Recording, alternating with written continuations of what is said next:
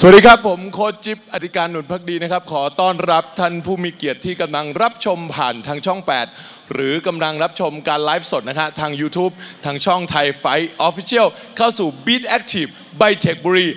และนี่คือ THAI FIGHT LEAGUE สังเวียนเลือดของตัวจริงขอเสียงหน่อ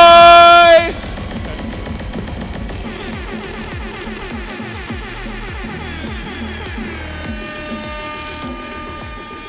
ท่านผู้เกียรติครับเรามาลุยกันเลยนะครับ กับคู่แรกในวันนี้ครับ เป็นคู่ซุปเปอร์ไฟท์มวยชายครับ พบกันในพิกัดน้ำหนัก 60 กิโลกรัม เป็นการพบกันระหว่างนักชกฝรั่งเศสปะทะกับนักชกอิตาลีครับสำหรับนักมวย White Corner he's from Montero Dondo Lazio Italy please welcome Cavaliere Vincenzo Aldomnes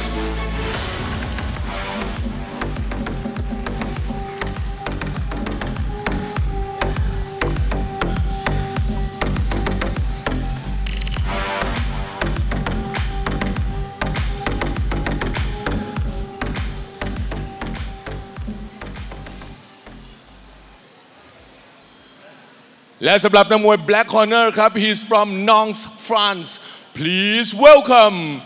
the Chevalier Amaury Prime Darkwave.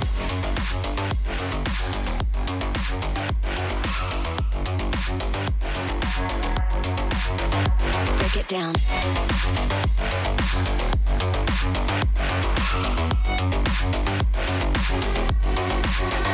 Darkwave. สวัสดีครับยินดีต้อนรับเข้าสู่รายการไทยไฟท์ลีกสังเวียนเลือดของตัวจริงนัดประจำวันที่ 15 ตุลาคม 2566 อยู่กับผมกุยชายสายตรงพระกินาราชติฮิรัน และคุณเอกชุมพร สุรพัฒน์จารุมณีเป็นผู้บรรยายครับสวัสดีครับ แฟนๆไทยไฟท์ทั่วประเทศเลยแหละครับ ที่รับชมอยู่ในหลากหลายช่องทางครับ ทั้งแพลตฟอร์มออนไลน์นะครับ Facebook YouTube ไทยไฟท์ Official รวมไปถึง ทางหน้าจอครับ ทางหน้าจอช่อง 8 กดหมายเลข 27 นะครับ วันนี้ 7 คู่พลาดไม่ได้สักคู่เลยครับ เป็น super fight หมดเลย มาสอดส่องไปด้วยกันว่าใครมีฟอร์มการชกดุเดือด เดี๋ยวเราจะนำเข้าไปสู่ไทยไฟท์ลีก ใช่ครับ ก็มีในรุ่น 63 กิโลกรัมครับสี่คู่ด้วยกันนะครับ รวมไปถึงมวยหญิงวันนี้ โอ้โห หลายคนนี่จับตามองนะครับ นั่นก็คือการเจอของแก้วกันดา เจอกับลูกตาลครับ เดี๋ยวรับชมได้ในคู่ที่ 4 ครับ แต่ว่ามาดูคู่แรกกันก่อนครับ เปิดหัวด้วยมวยต่างชาติเหมือนเดิมครับ มันเหมือนเดิมทุกสัปดาห์ โอ้โห แล้วดูแขนของเขาครับ แม่เต็มไปด้วยอักขระนะครับ อักขระภาษาอังกฤษแล้วครับ ภาษาไทยนี่แหละครับภาษาไทยเลยโอ้โห ดูสิครับ ความชื่นชอบ ความเป็นไทย ความชื่นชอบมวยไทยครับนะก็นักชกวัย 22 ปีนะครับ จากเมืองลาซิโอประเทศอิตาลีครับ และนี่คือวิเซนโซอดอมเนสนะครับ ฉายาเนี่ยคาวิเลเล่ครับ หรือว่าอัศวิน ส่วนนักชกมุมดำนะครับ รายนี้นี่26 ปีครับ 60 กิโลกรัมเท่ากันนะครับ สูง 170 34 ปีครับ อายุของเขาส่วนสถิติการชกนี่ ชนะมา 29 ครั้งครับ แพ้ 4 ครั้งแล้วก็เสมอ 1 ครั้งครับ นี่ครับแหมก็เป็นทางด้านอ m มรีนะครับ ที่อายุมากกว่า 4 ปีส่วนสูงนี่พอกันเลยครับ ประสบการณ์ก็ สูสีกันมากครับ คู่นี้เดี๋ยวมาติดตามนะครับ ส่วนใหญ่แล้วนะครับในคู่แรกของเราที่เป็นนักมวยต่างชาติเนี่ยแหม่มันแล้วก็ถึงใจแฟนมวยเหลือเกินนะครับนี่ก็เป็นทีมงานของอ m มรี่นะครับ แล้วก็ทางด้านวิเซนโซอามรี่นี่จากฝรั่งเศสนะครับ วินเชนโซนี่จากอิตาลีแหละครับ ก็อยู่ในแคมป์เดียวกับโอ้โหนักชกที่แหม เสมอกับพี่แสนชัยมาที่อิตาลีนะ ใช่ครับ ก็คืออเลซิโอมาราเตสตานะครับ ซึ่งก็จะมีรายการในวันที่ 29 นี้ด้วยในไทยไฟท์เศรษฐีเรือทองครับเอาครับ มาเลยครับกางเกงขาวนี่จากอิตาลีครับกางเกงดำจากฝรั่งเศส โอ้แล้วดูครับแม่การออกหมัด โอ้ดูวิเซนโซครับแม่หมัดรัวเลยครับ มาเป็นชุดเลยครับเปิดมา แต่มาเพื่อการนี้โดยเฉพาะเลยครับ เพิ่งบินจากอิตาลีมาถึงประเทศไทยไม่ไม่ไม่นานเนี่ยนะครับ มาถึงก็พยายามใส่เลยแล้วครับ วินเซนโซ ส่วนอามอรีนี่เองก็แหมเคยผ่านสายตาแฟนมวยชกที่ราชดำเนินมาแล้วครับเอาครับแหมเริ่มที่จะจ่ายคืนครับมีศอกมา ขยับเดินเข้าหานะครับอโมรี่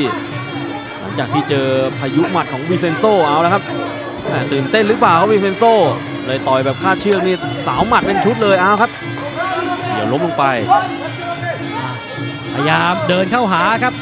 ตั้งลำให้ดีๆ ตั้งสติให้ดีๆครับ หมัดออกไม่ออกครับ หมัดขวามายังไม่โดนครับ วงในประกบได้ก็เนี่ยครับ พยายามแทงไปแล้วก็ตีคืนมาครับ เดินบีหนักแล้วนะครับอามูรี่แหมวิเซนโซนี่หมัดออกเยอะครับแต่ตอนนี้ไม่ค่อยแม่นเอาโอ้ยโดนศอกโอ้โหศอกแล้วเข่าตามครับแม่อามูรี่ครับ มีทีเด็ดไม่ต้องออกเยอะ โอ้กรรมการอรุณคุมุทชาติครับ นับไปถึง 7-8 แล้วครับ ไปต่อยเขาก่อนด้วยนะ แต่ของเขาสวนกลับมา โอ้โหกลับกลายเป็นความแม่นเลยล่ะครับ โอ้โหเอาครับอันตรายแล้วตอนนี้โอ้สถานการณ์ชักไม่ดีเลยครับจะจบยกนี้เลยหรือไม่ดูอโมลี่นี่ก็ออกไม่เยอะครับ แต่ว่าเน้นพยายามที่จะขยับเข้าไปต่อฮุกซ้ายโอ้ต่อคืนเอาแล้วครับ เอาแล้วครับ อะไรก็เกิดขึ้นได้นะครับกับไทยไฟท์กับคาด เชือกครับเอาบิดลูกนี้ครับเททิ้งไปลุกขึ้นมา มาตั้งเกมกันใหม่ หมัดขวาไม่โดน คืนด้วยอะไรดีคืนด้วยอะไรดีเจอแท่งมาคืนด้วยหมัดหนึ่งสองครับ เมาไม่เมาอุ้ยใช่โอ้โอ้เมาไม่เมาแม่โดนเข้าไปนี่เหมือนจะมีเลือดด้วยนะครับเอาตอนนี้วิเซนโซครับจะอาการไม่ดีอีกแล้วครับอ้าวมีหมัดขวาคืนมา คืนมาครับแม่โอ้เรียกได้ว่า ได้กำลังใจขึ้นมาครับสามหมัดนี้ โอ้โห ดูต่อยกันครับเกมนี่ยังไม่แน่ไม่นอนครับอะไรก็ยังเกิดขึ้นได้เอาหมัดขวาไปอีกทีนึงโอ้ยวงในครับได้ตีเข่าไปทีหนึ่งครับก่อนจากหมดยกแรกนะครับ เดี๋ยวกลับมามันกันต่อครับพักแป๊บเดียว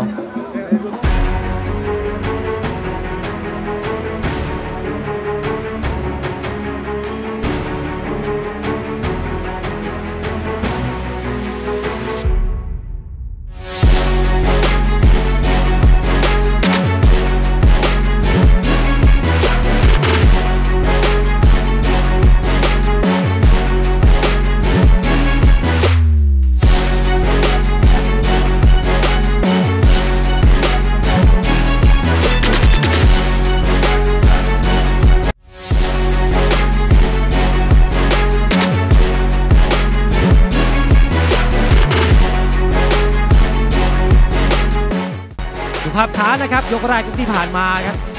แหมแกโดนเหมือนกันนะ แต่นี่ครับจังหวะนี้โดนศอกแล้วก็ร่วงนะครับ แต่พอจะไปจะไปแกก็ฟื้นกลับมา แล้วก็มีหมัดคอยสวนทางไปอยู่ตลอดนะครับช็อตนี้ศอกก่อนนะครับ ย้ำให้ดูกันอีกครั้งนะครับ ภาพ slow ครับ งัดเอาสั้นๆ แต่ก็แหมได้ใจความเลยแล้วครับ ความดุเดือดยกแรกที่เกิดขึ้นครับ จังหวะสาวหมัดไปครับเนี่ยก้าวเข้ามาสาวหมัด 1-2 ครับ เอาซะโดนไปก็แหมมีโซซักโซเซเหมือนกันแล้วครับ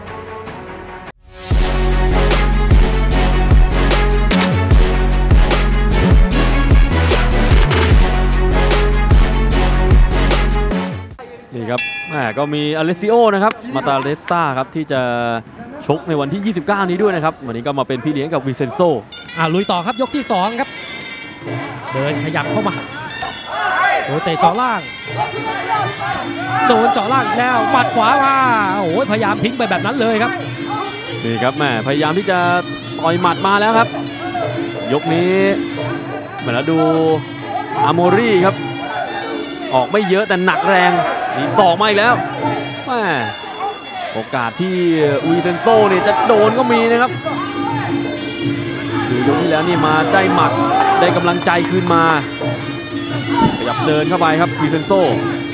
แข้งขวาครับคอยเตะคอยสกัดไว้ก่อนแล้วครับ เล่นเอาแบบน้ำหนักเนื้อเนื้อนี่ครับขวาเจาะล่างไปอาโมรี่เอาเตะขวาขึ้นมาเหมือนกันเอาจังหวะนี้บวกศอกบวกหมัดครับหมัดมาแทงไป ถึงตัวถึงตัวรอมรันพันตูบิดมาจะบิดเขาแต่ตัวเองอยู่ข้างล่างครับ ทางด้านของวินเชนโซ โอ้โหแหมต่อยหมัดได้หนึ่งหมัดนะครับ แต่ว่ามาเจอบิดเหลี่ยมล้มลงไปนี่ฮะหมัดขวานี่ยังอันตรายตลอดครับ ยังมีเขี้ยวเล็บนะครับแหมทั้งคู่นี่ฉายาแปลว่าอัศวินด้วยกันโอ้แล้วก็ดูใจครับโอ้บดเบียดกันเอาแล้วครับแหมเลือดเริ่มจะมาอีกแล้วครับที่จมูกของทางด้านวีเซนโซแหมแต่ดูอโมรีก็นิ่งนะฮะโดนเข้าไปเยอะขยับเดินเอานี่ครับแหมหมัดขวาคืนมาพอมีจังหวะเข้าเบรกก็พยายามแลกกันนะครับ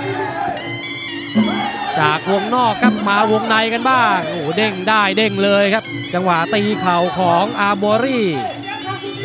มาครับลุยกันต่อคำไปก่อนหมัดขวาไปโอ้โหเจอรัวคืนมาครับแม่สี่ห้าหมัดเลยครับ จังหวะเอาคืนแม่ต่อยหลุดแล้วเกือบเหมือนกันนะครับหมัด uppercut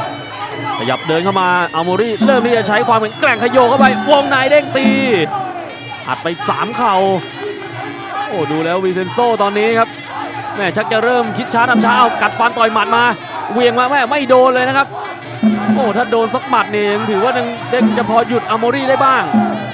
เอาครับอาโมรี่กระตุกเหลี่ยมโอ้โหดูครับตัวลอยเลยแหมได้เหลี่ยมสุดท้ายนะครับ จังหวะบิดพวงมาลัยครับอาร์โมรี่แกเลือกออกนะครับ รอจังหวะออกเน้นๆเอาหมัดมาเนี่ยจังหวะโต้คืนครับ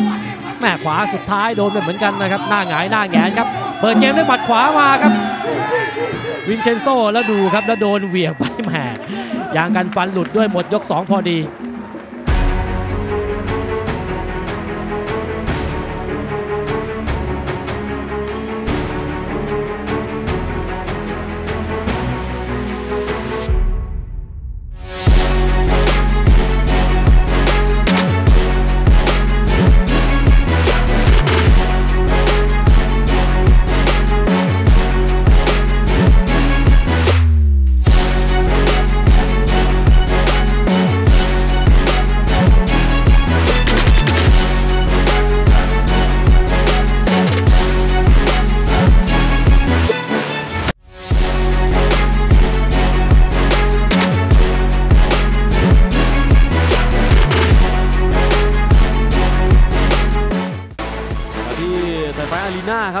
จังหวะต่อยหมัดขวา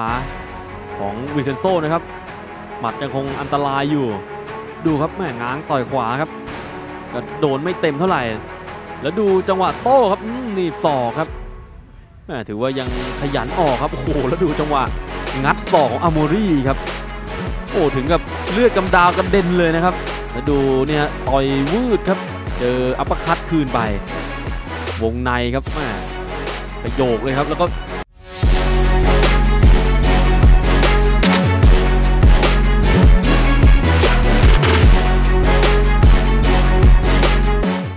บริษัทตรีเพชรอีซูซุเซลส์จำกัด BEAT Active ไบเทคบุรีการท่องเที่ยวแห่งประเทศไทย บริษัทการบินไทยจำกัดมหาชน Pumpkin ครบทุกเรื่องเครื่องมือช่าง สมาคมกีฬามวยไทยไฟท์นานาชาติ สถานีโทรทัศน์ช่อง 8 กฎหมายเลข 27 เอาครับ รับชมความมันกันต่อครับในยกสุดท้ายตามสายตานี่อโมรี่ก็ดูเหลื่อมๆนิดๆนะครับ แต่ว่าถ้าเชือกแบบนี้ครับ หมัดเดียวก็เสียวได้ครับทุกอย่างเนี่ยเปลี่ยนได้เลยนะครับเอามาวงในบิดเหลี่ยมไม่แล้วแม่ดูแล้วเหลี่ยมตัวของทางด้านอาโมรี่เนี่ยใช้ได้เลยครับความเป็นมวยไม่ธรรมดาเลยครับ แต่แหมก็ยังไว้ใจหมัดและศอกของวินเชนโซไม่ได้ครับ อาจจะตนนี้โดนบิดลงไปก่อนครับ ลุกขึ้นมาครับ จัดองค์ทรงเครื่องสักหน่อยครับ วินเชนโซเอาหคมัรับดขวาไปครับ พยายามที่จะต่อยหมัดมาโอ้โดนหมัดโอ้ล่วงเลยครับ โดนอีกหนึ่งนับครับตอนนี้วิเซนโซครับแม่จังจะมาครับไปพะวงในเรื่องของเชือกครับที่หลุดไหวไม่ไหวครับกรรมการดูอ้าวยังได้ได้อยู่ครับ โอ้โห จะทำเขาตัวเองไปหลวมครับ พอหลวมปุ๊บเนี่ยครับ เปิดโอกาสแล้วฟื้นหรือยังครับสุดท้ายท้ายสุดครับ ไหวไม่ไหวครับกรรมการบอกลุกขึ้นมา ลุกขึ้นมา ลุยกันต่อครับหมัดนี้เคลื่องมาไม่โดน พยายามหมัดขวาโต้ขึ้นไป วงในครับ วงในดูครับแม่แกล็อกแกกดคอไว้เลยครับโอ้โหใจสู้นะครับ เจอไปอีกหนึ่งนับครับวินเซนโซโอ้โหการคอเอาละครับตอนนี้ถึงข่าวบ้างแล้วครับอืมอัดเข้าไปครับแม่อาโมนี่นี่ต้องการน็อกนะครับ ดูแล้วนี่เขาเองเนี่ยต้องการที่จะเผด็จศึกให้ได้ครับ แบบไม่ครบยกนี่ฮะดูสดชื่นอยู่ เอาแล้วครับถึงข่าวบ้างแล้วหยับเดินแม่จะต่อยดูครับแม่ง้างก่อนครับ เป็นมวยที่ไม่ไม่ชัวร์ไม่ออกครับเอาแล้วครับแม่หล่นไปอีกแล้วตุบปัดตุบเป๋น่าดูเลยนะครับ เกมของวินเชนโซครับ แต่หัวใจยังสู้ยังโต้อยู่นะมีหมัดขวา ไปโดนหมัดนี้กรรมการบอกว่าแม่ดูจากอาการแล้วพอดีกว่าครับ คือต้องเซฟนักมวยด้วย ต้องอยู่ในความปลอดภัยด้วยเลยครับ สุดท้ายท้ายสุดก็ยุติที่ตรงนี้ครับ ดูครับโชว์พลังเลยครับ ถือว่าเป็นมวยที่ใช้โอกาสไม่เปลืองครับ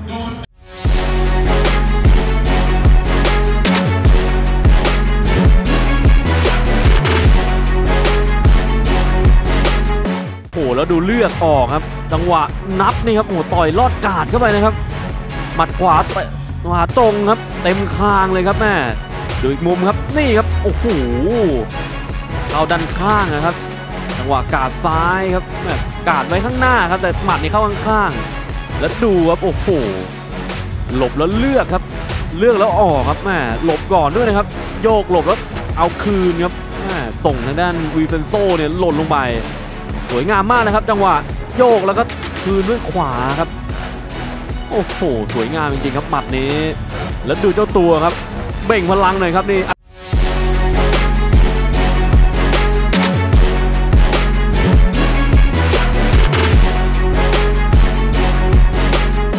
และผลการตัดสินนะครับ the winner by technical knockout black corner Amory Pra from France ก็เป็นอโมริจากฝรั่งเศสนะครับที่ชนะไปครับ เดี๋ยวเราพักคู่เดียวกลับมาคาดเชือกพิกัด 63 กิโลกรัม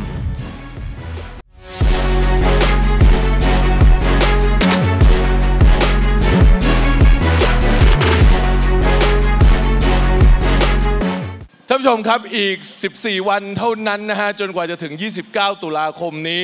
เรานับถอยหลังเตรียมพบกับชายไฟท์เศรษฐีเรือทองนะฮะณลานกิจกรรมวัดผู้น้อย อำเภอบ้านหมี่จังหวัดลบบุรีครับ โดยท่านหลวงพ่อสุทินเจ้าอาวาสวัดผู้น้อย ท่านมีความประสงค์ที่จะรวมศรัทธาสานุสิทธิ์ครับ และผู้มีจิตศรัทธาสร้างรูปหล่อหลวงปู่แบนนะครับ และส่งเสริมการท่องเที่ยวของอำเภอบ้านหมี่จังหวัดลบบุรี และที่สำคัญนะครับจะมีการชิงแชมป์ชายไฟลีกรุ่น 67 กิโลกรัม ระหว่าง ดาวแพร่แม็กเคมีพันดวลเดือดกับ กล้าศึกสิทธิ์จากกล้าครับ รับรองว่างานนี้ยิ่งใหญ่สมการรอคอยของแฟนคลับไทยไฟท์อย่างแน่นอนแล้วพบกันนะครับ The coming up on October 29 is Thai Fight เศรษฐีเรือทอง at the courtyard next to Wat Pu Noi, Ban Mi, Lopburi. If you want to enjoy Muay Thai in the sport entertainment style, do not miss. Come and enjoy with us นะครับ เอาละครับ เอาละครับ เรามาเดือดกันต่อนะครับกับ คู่ super fight มวยชาย ในพิกัดน้ำหนัก 63 กิโลกรัมสำหรับนักมวย white corner ครับ ผู้มีสไตล์เดินหน้าแล้วฆ่ามัน He's from อำเภอเมืองจังหวัดนนทบุรี Please welcome ขาบู๊แห่งเกาะเกร็ดชาญชัยพ่อเพิ่มทรัพย์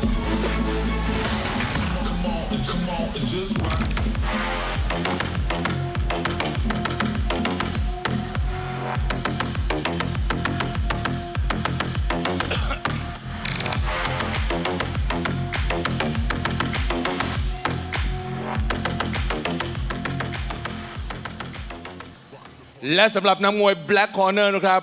เมื่อขึ้นสังเวียนเขามีลีลาดุดช้างตกมันครับ He's from อำเภอสังขะจังหวัดสุรินทร์ Please welcome พลายศึกเมืองสังขะ ทะเลเงินต้อบัวมา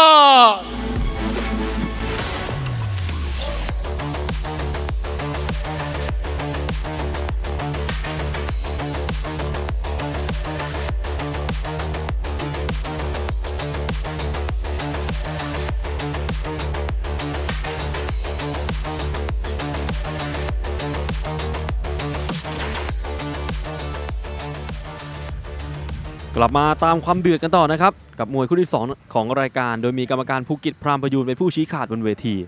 ขณะที่ 3 ท่านให้คะแนนครับ มีกรรมการถาวรเอียงอุบล กรรมการเสมาทิพย์คีรี และกรรมการพัฒนันพงษาปาน คู่นี้นี่รับรองเดือดแน่ครับ เพราะว่าทั้งคู่นี้ก็มีดีกรีทั้งคู่นะครับนักชกทั้งสองคนเนี่ยถือว่าผ่านประสบการณ์ในการชกในเวทีใหญ่ๆมาแล้ว เป็นประเภทบู๊ดุดันอันตรายด้วยกันทั้งคู่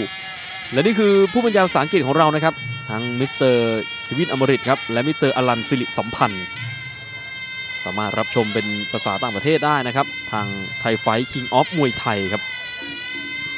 สำหรับแฟนมวยที่รับชมอยู่ทั่วโลกเลยนะครับ ก็ติดตามกันได้ครับเป็นภาษาอังกฤษ เดี๋ยวมาจับตาดูคู่นี้กันต่อครับ เชื่อได้ว่า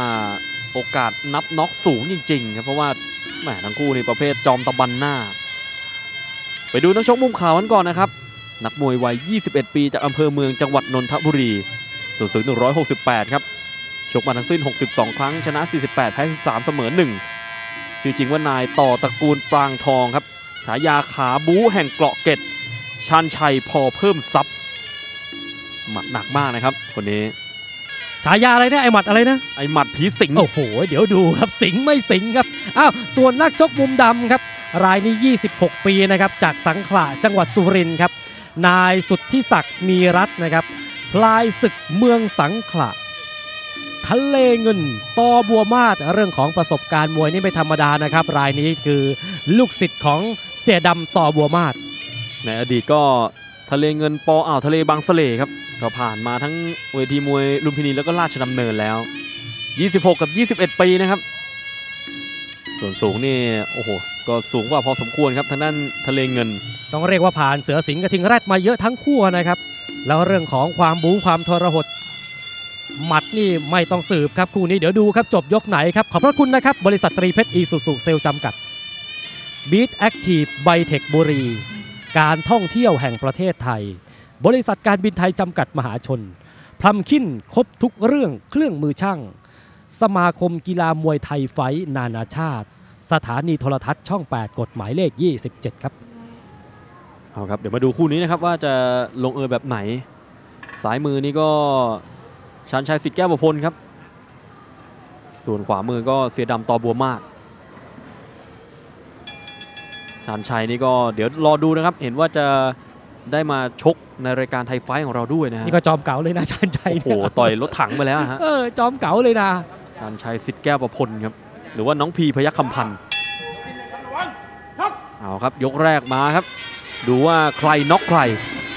เอาทีบไว้ก่อนเลยครับ ขยับเข้ามาครับย้ายห่างเตะเจาะล่างไปทักทายช่วงล่างครับเจอหมัด 1-2 คืน โอ้โหใส่ก่อนเลยนะครับแม่ชานชัยนี่อื้อหือดูฮะหมัดหนักครับคนนี้กล้าออกด้วย ส่วนทะเลเงินเนี่ยไปอยู่กับตอโบวมาศครับก็เคยทำมวยสากลมาก่อนนะครับ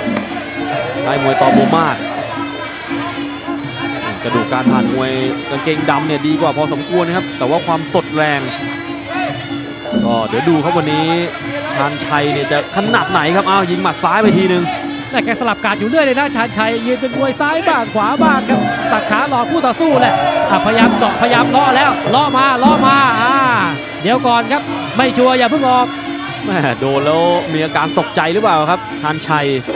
คือหมัดหนักจริงครับ แต่ว่าพอโดนบ้างแล้วเนี่ยก็ไม่ค่อยชอบครับนี่ครับแม่โดนทะเลเงินอัดแล้วแม่กระดูกดีครับ จะมีเกรงศักดิ์ศรีรุ่นพี่หรือเปล่าครับชานชัยชาญชัยครับหมัดหมัดแม่เนี่ยครับซ้ายเบิกทางครับ แต่ขวาของจริงครับ ออกไปเรื่อยกระแทกไปเรื่อยครับ ทะเลเงินนิ่งๆ ไม่ตกใจครับขยับเข้ามาเอาหลบได้ หลบได้เอาต่อยแล้วเข่าเข่าคืนครับแม่กดหัวมาแทงเลยนะโอ้โหแม่แกออกหมัดดีนะแต่ว่าไม่ค่อยจะรอดกาดเท่าไหร่ครับโดนเข่าโอ้โหดูครับสะสะดุ้งครับแม่มวยนี่หมัดดีครับแต่ว่าเห็นเข่าไม่ระเบิดครับแม่แต่ว่าโดนศอกครับซุดลงไปแหมผายมือบอกสบายสบายๆพี่กุ้ยช่ายเอามาใจอีกครับเย็นๆพี่กุ้ยช่ายใจเย็นๆเออ โอ้โหดูจังหวะหนีบคอครับแม่ขี้เป็นครีมปากตายเลยครับ โอ้โห ดูครับหมัดหนัก แต่ว่าตอนนี้นี่ชักจะเริ่มไม่ค่อยเข้าครับอ้าวมีกระแทกยับซ้ายเข้าไปเหมือนกัน เลือกออกนะครับมวยหมัดเนี่ยอะไรก็เกิดขึ้นได้ครับเอาละครับ ตอนนี้รวมเป็นชุดมีโมโหเลยแม่ต่อยแล้วไปคาราบาฮ่องเต้ครับคือต่อยหนักโอ้โหขนาดที่ว่าเหวี่ยงจนตัวเองล้มอะครับ เสียหลักนิดหน่อยครับไม่เป็นไรครับแม่เอาจังหวะ จะเอาคืนบ้างครับแม่มีผัดกันลุกผัดกันรับ แต่ว่าความสำคัญคือใครจะโดนของใครก่อนเท่านั้นเองครับ โอ้ชานชัยนี่เพียงเผาไปก่อนแล้วนะครับ แต่ก็ยังมีหมัดอันตรายอยู่ ได้โตคืนโอ้หมดโยกครับโอ้โดนลำตัวมาจุกหมัดสุดท้ายครับเดี๋ยวพักคู่เดียวครับ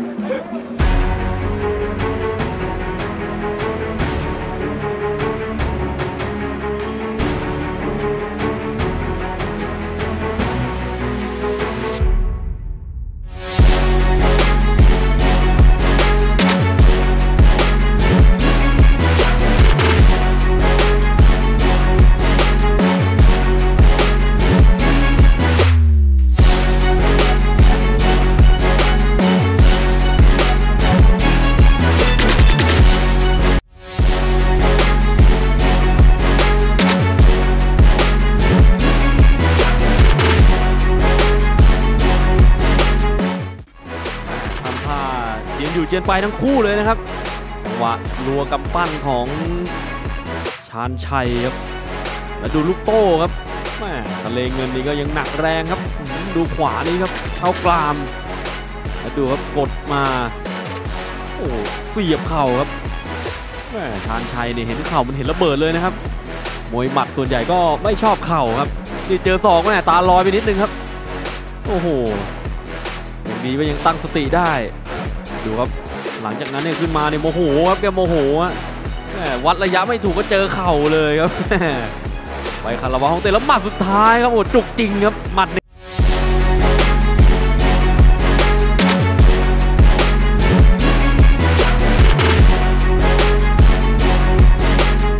ไม่ก็เห็นระฆังดังแล้วไงก็เลยหายใจเข้าไงโอ้โหแต่เข้าไม่ได้เจอลมมาเจอหมัดนะเด็กแม่เต็มอ้าวเต็มหนึ่งคนก็โดนหมัดไม่ดี อีกคนโดนเข่าไม่ดีกูใช่ายเอา ครับแมทะเลเงินนี่ช่วงพักยกนี่ก็ถือว่าหายใจหอบแรงเหมือนกันนะครับ เนื่องจากก็ไม่ได้ขึ้นสังเวียนนาน ยังพอมีความหวังด้วยกันทั้งคู่ครับเอาเริ่มมีแข้งมาบ้างแม่งไม่ค่อยดีครับชานชัยลุยต่อมาโอ้ทะเลเงินนี่พยายามที่จะปล้ำในครับวงในเนี่ยเหนือกว่าอยู่แล้วชาญชัยบอกทรงไม่รู้ครับพี่กุยชายครับ แต่หัวใจผมยังสู้อยู่ครับ เอาเจอแข้งมาก่อน แต่ซ้ายคืนชาญชัยเจอหมัด 1 2 3เอาลำตัวแม่โดนทีไรจักรจี้ทุกทีครับลำตัวครับดูจังหวะขวางครับ จังหวะขวางครับเกากระบากเลยครับแม่เอาสักคอเลี้ยวเหมือนกันนะโอ้โหแต่วงในเนี่ยถือว่าทำได้ดีเลยครับ ทะเลเงิน แต่ว่าเดี๋ยวก่อนครับ เดี๋ยวให้ทะเลเงินเนี่ยหมดก่อนเดี๋ยวชาญชัยเนี่ยสาวคืนผมมันจะหล่นก่อนหรือเปล่านะครับ เริ่มจะโดนกดดันหนักตอนนี้ ทางนางสลับบนนี่ครับโดนหมัดแม่หมัดศอกครับโอ้นี่ครับแม่โดนศอกครับ ไหวไหมครับ ลุกไม่ลุก พยายามที่จะตะเกียกตะกายลุกขึ้นมาครับ โอ้ดูครับอื้อหือเรียบร้อยครับโอ้ยกรรมการโบกเลยครับแม่เจอศอกปิดบัญชีครับทางด้านชานชัยพอเพิ่มสินครับแม่ทะเลเงินนี่ก็หนักแรงเหลือเกินนะครับ เข่าทำท่าจะ น็อกได้ครับแต่ว่ามาจบด้วยศอกครับ โอ้โหศอกฉมังทีเดียวครับไฟนี้สำหรับทางด้านทะเลเงินต่อบัวมาก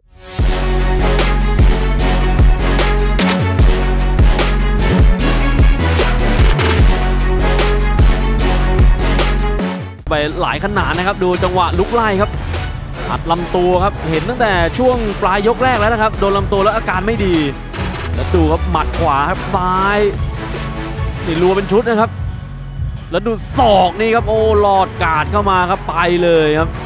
ตาลอยไปแล้วนะครับ ในยกแรกครับ คราวนี้นี่หล่นครับ ดูจังหวะลุกไล่ครับหลังติดเชือกครับ หลบไม่ทันครับแม่ไปกาดแบบนั้นครับทะลุกาดเข้ามาเลยครับศอกดูครับมันเต็มจริงครับศอกนี้ของทางด้านทะเลเงินแล้วดูฮะ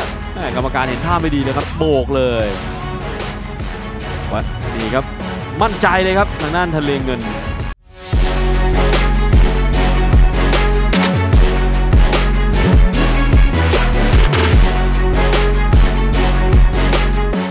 และผลการตัดสินนะครับ the winner by technical knockout black corner ทะเลเงิน from Thailand ก็เป็นทะเลเงินที่เป็นฝ่ายชนะไปนะครับ เดี๋ยวพักครู่เดียวกลับมา 63 กิโลกรัมชายเหมือนเดิม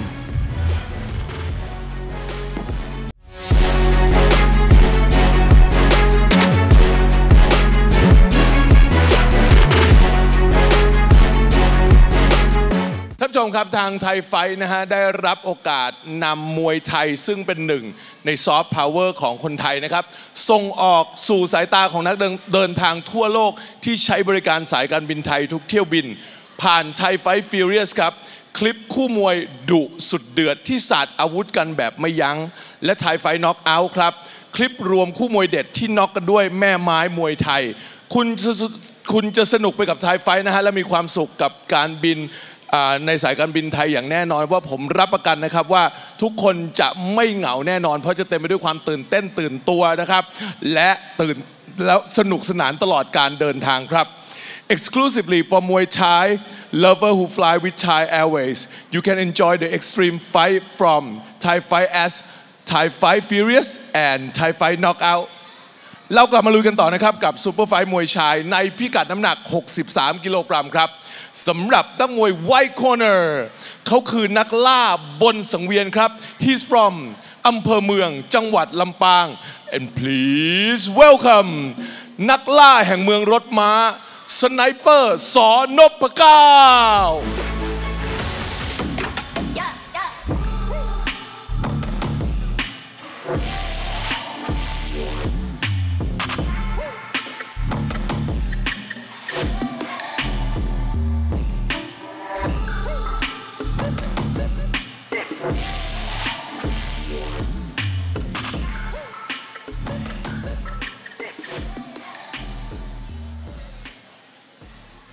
และสำหรับนักมวย Black Corner ครับ นักสู้ผู้ไม่เคยถอย He's from อำเภออู่ทองจังหวัดสุพรรณบุรี Please welcome ขุนศึกเมืองอู่ทองจักรนารายลูกเมืองเพชร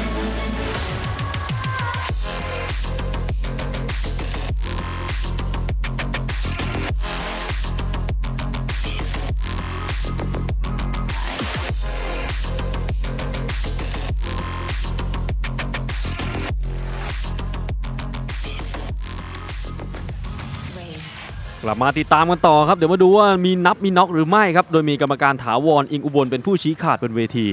ขณะที่ 3 ท่านให้คะแนนครับ มีกรรมการภูกิจพรามประยูน กรรมการพัฒนันพงษาปาน และกรรมการอรุณกุมุทชาติครับแหมคู่ที่แล้วเนี่ยใส่กันมันหยดเลยนะครับ จบยก 2 เดี๋ยวดูคู่นี้ครับจะจบยกไหน หลังจากคู่นี้ครับคู่ต่อไปแฟนคลับมวยหญิงก็ห้ามพลาดเลยนะครับ แก้วกันดาสอทอสุคนครับเจอกับลูกตาลพายแปซิฟิก มาดูข้อมูลของคู่นี้กันก่อนนะครับพิกัด 63 กิโลกรัม นี่คือนักชกวัย 25 ปี จากอำเภอเมืองจังหวัดลำปางส่วนสูง173 ครับ ชกมา 70 fight ครับ ชนะ 42 แพ้ 27 เสมอ 1 ชื่อจริงว่านายพีรพัฒน์อินน้อง ฉายานักล่าแห่งเมืองรถม้า สไนเปอร์ สอนนพเก้า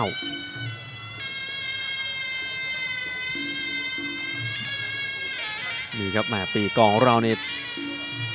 ตั้งใจเป่าครับมวยมันมันๆแบบนี้ครับ ตีกลไม่องได้ก็เปิดมีเทผลปนะนะเป่ากันสดๆนะอ่าอ่าเอาส่วนนักชกมุมดำครับ 22 ปีจากอู่ทองจังหวัดสุพรรณบุรีครับรายนี้ครับชกมา 51 ครั้ง แพ้ชกมา 65 ครั้งนะครับ ชนะ 51 แพ้ 13 เสมอ 1 ครั้งครับ นายกิษกร ภูลเกษม ขุนศึกเมืองอู่ทอง จักรนารายณ์ลูกเมืองเพชร อายุก็ห่างกัน 3 ปีนะครับ เป็นสมัยสไนเปอร์ที่มากกว่า ส่วนสูงนี่โอ้โห เท่ากันเลยครับ 173เซนติเมตรแน่นอนครับมวยอายุมากกว่าอย่างสไนเปอร์นี่ประสบการณ์เหนือกว่าครับเล็กน้อย เดี๋ยวมาติดตามคู่นี้นะ มีน็อกไม่น็อกอีกหรือเปล่าผมสไนเปอร์มุมขวามุมขาวนะครับ มุมดำนี่จักรนารายครับ นักมวยจากสุพรรณบุรี ลูกพี่จากเพชรบุรีครับ แต่ว่าไปมีค่ายมวยอยู่ที่ปากช่องโคราชครับ เริ่มงงแล้วใช่ไหมอ้าวขอบพระคุณนะครับ ในช่วงที่งงชุลมุนจลุมุนอยู่แล้วก็ขอบพระคุณเลย ขอบพระคุณผู้สนับสนุนนะครับที่ทำให้ความมันแบบนี้เกิดขึ้นครับ บริษัทตรีเพชรอีสุสุเซลจำกัด Beat Active b y t e c h บุรีครับ สถานที่ที่ทำการชกทำการถ่ายทอดสดจากตรงนี้แหละครับ ที่ไบเทคบางนาทุกวันอาทิตย์ครับ ที่ไทยไฟลีกเรามาประจำการที่นี่ นี่ก็วิกที่ 20 แล้วนะครับ การท่องเที่ยวแห่งประเทศไทย บริษัทการบินไทยจำกัดมหาชนพัมครินครบทุกเรื่องเครื่องมือช่าง สมาคมกีฬามวยไทยไฟท์นานาชาติ สถานีโทรทัศน์ช่อง 8 กฎหมายเลข 27 ครับ แล้วก็ห้ามพลาดนะครับในสิ้นเดือนนี้ครับ 29 ตุลาคมไทยไฟท์เศรษฐีเลือทอง ตอนนี้ก็คู่มวยเนี่ยค่อยๆ เผยออกมาทีละนิดแล้วนะครับ อย่างเช่นคู่ชิงครับระหว่างดาวแพร่กับก้าศึก คู่นี้นี่ต้องบอกว่าน่าติดตามมากครับรวมไปถึงการกลับมาอีกครั้งครับของนักชกที่สามารถเสมอกับแสนชัยได้ครับอืมนั่นก็คืออเลสซิโอมาราเทสตานะครับจากอิตาลีก็จะขึ้นชกด้วยครับ รวมไปถึงซูเปอร์สตาร์อีกมากมายนะครับ ก็สามารถไปติดตามได้นะครับ ที่เพจของไทยไฟท์ King of มวยไทยครับสำหรับคู่มวยก็เดี๋ยวจะมีการเปิดเผยนะครับ อีกไม่นานนี้ สัปดาห์สุดท้ายของเดือนนะ 29 เดือน 10 นะครับ 29 ตุลาเข็มขัดตะกุ้ยช่ายอ่า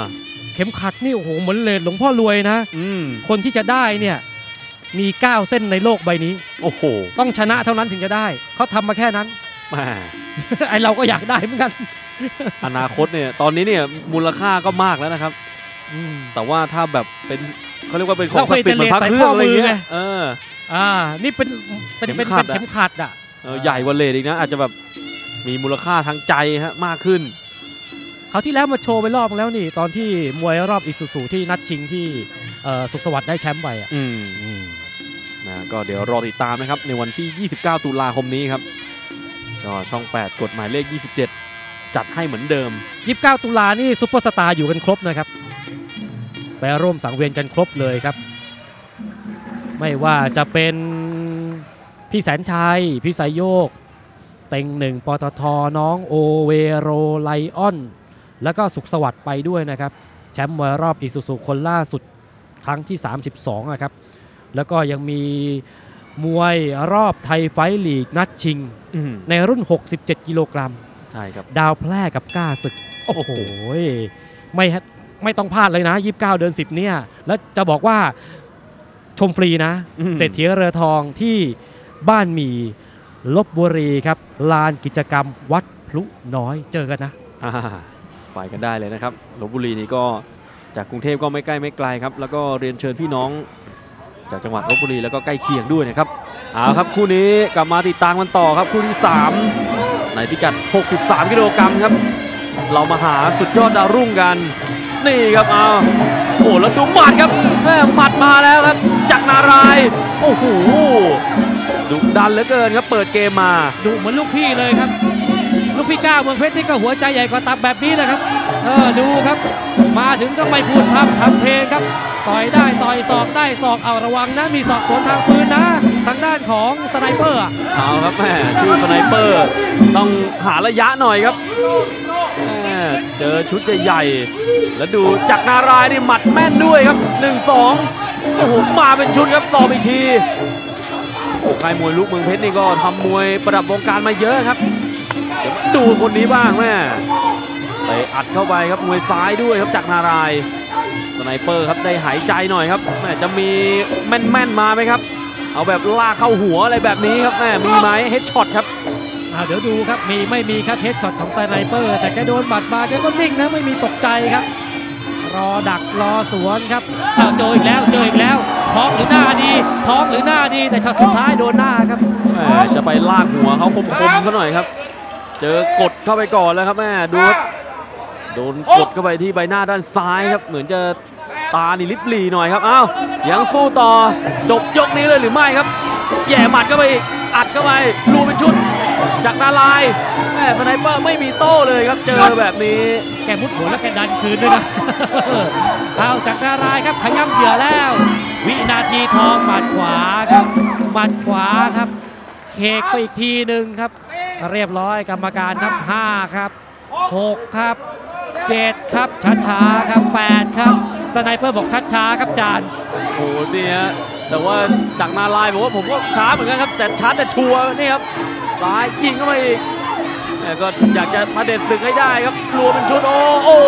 ยนี่ครับแม่เรียบร้อยเลยครับ นับที่สามนี่เขาเรียกว่า TKO ครับ Technical Knockout แม่นี่ครับสะใจครับจากนารายณ์ลูกเมืองเพชร3นับใน1ยกเท่ากับว่า ก็เป็น TKO ครับ Technical Knockout โอ้โหดุดันมากนะครับจำชื่อนี้ไว้เลยครับจากนารายณ์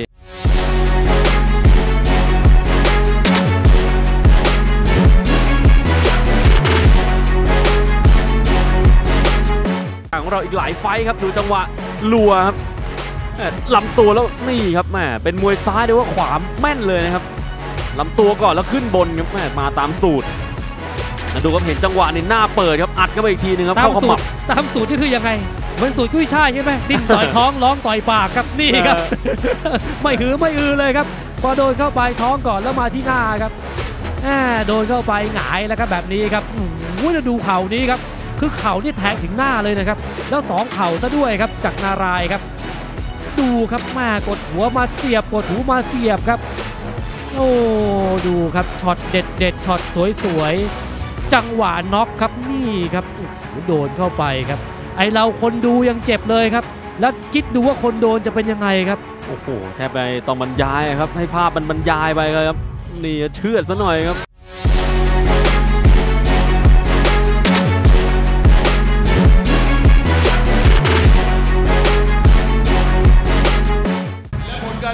นะครับ the winner by technical knockout black corner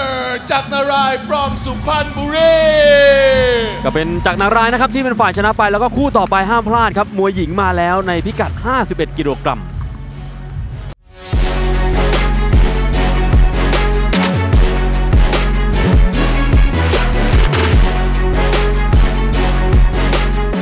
ท่านผู้ชมครับนั่นเป็นแค่ 3 คู่แรกนะฮะสะใจกันไหมครับ เรามาสาดความมันกันต่อครับ กับ super fight มวยหญิงครับ ในพิกัดน้ำหนัก 51 กิโลกรัม และมวย white corner สาวน้อยวัย 15 เธอหารกล้าท้าทุกคนครับ She's from อำเภอมวกเหล็กจังหวัดสระบุรี Please welcome สาวแข้งเหล็กลำพญา ลูกตาลพ่ายแปซิฟิก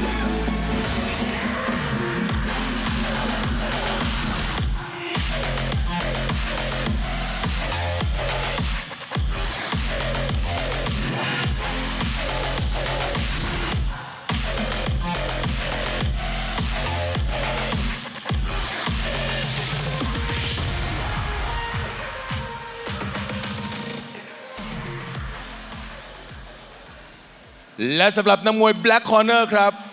สาวน้อยวัย 16 เธอพกความสดใสมาบดทุกคนครับ She's from อำเภอบ้านกรวด จังหวัดบุรีรัมย์ Please welcome พยักสาวแห่งบ้านกรวด แก้วการดา สอทอสุคน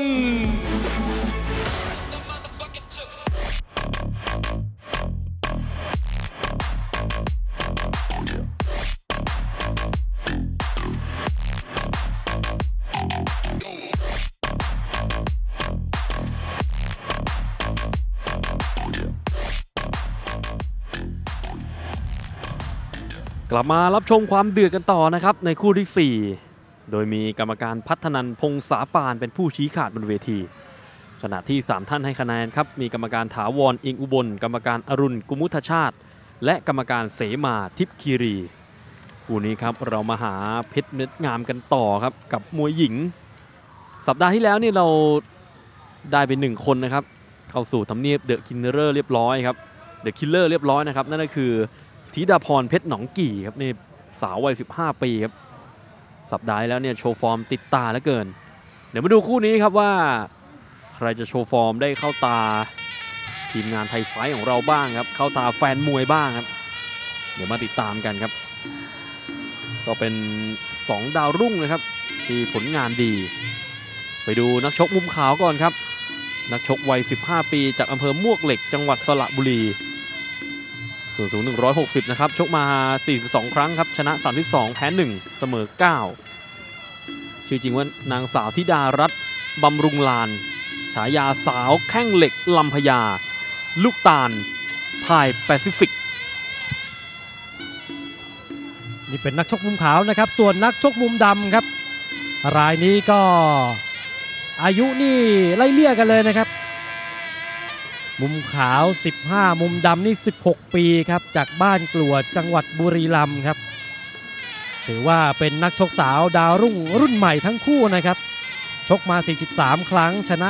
33 แพ้ 8 แล้วก็เสมอ 2 ครั้ง นางสาว มิชยา สิมวงศพยักสาวแห่งบ้านกลวด แก้วการดา สอทอสุคนแก้วกันดาไฟก่อนก็ซัดกับน้ำหวานสองพันเอาไว้ครับแบบสุดมัน 16 ปีกับ 15 ปีนะครับ 158 ครับ แก้วกันดาส่วน 160 นี่ก็ลูกตาลครับประสบการณ์นี่ก็พอๆกันครับ อายุอานามเนี่ยห่างกันแค่หลักปีเท่านั้นเองครับ ประเภทสวยเผ็ดดุด้วยกันทั้งคู่เลยครับ ขอบพระคุณด้วยนะครับ บริษัทตรีเพชรอีซูซุเซลส์จำกัดบีทแอคทีฟไบเทคบุรี การท่องเที่ยวแห่งประเทศไทย บริษัทการบินไทยจำกัดมหาชน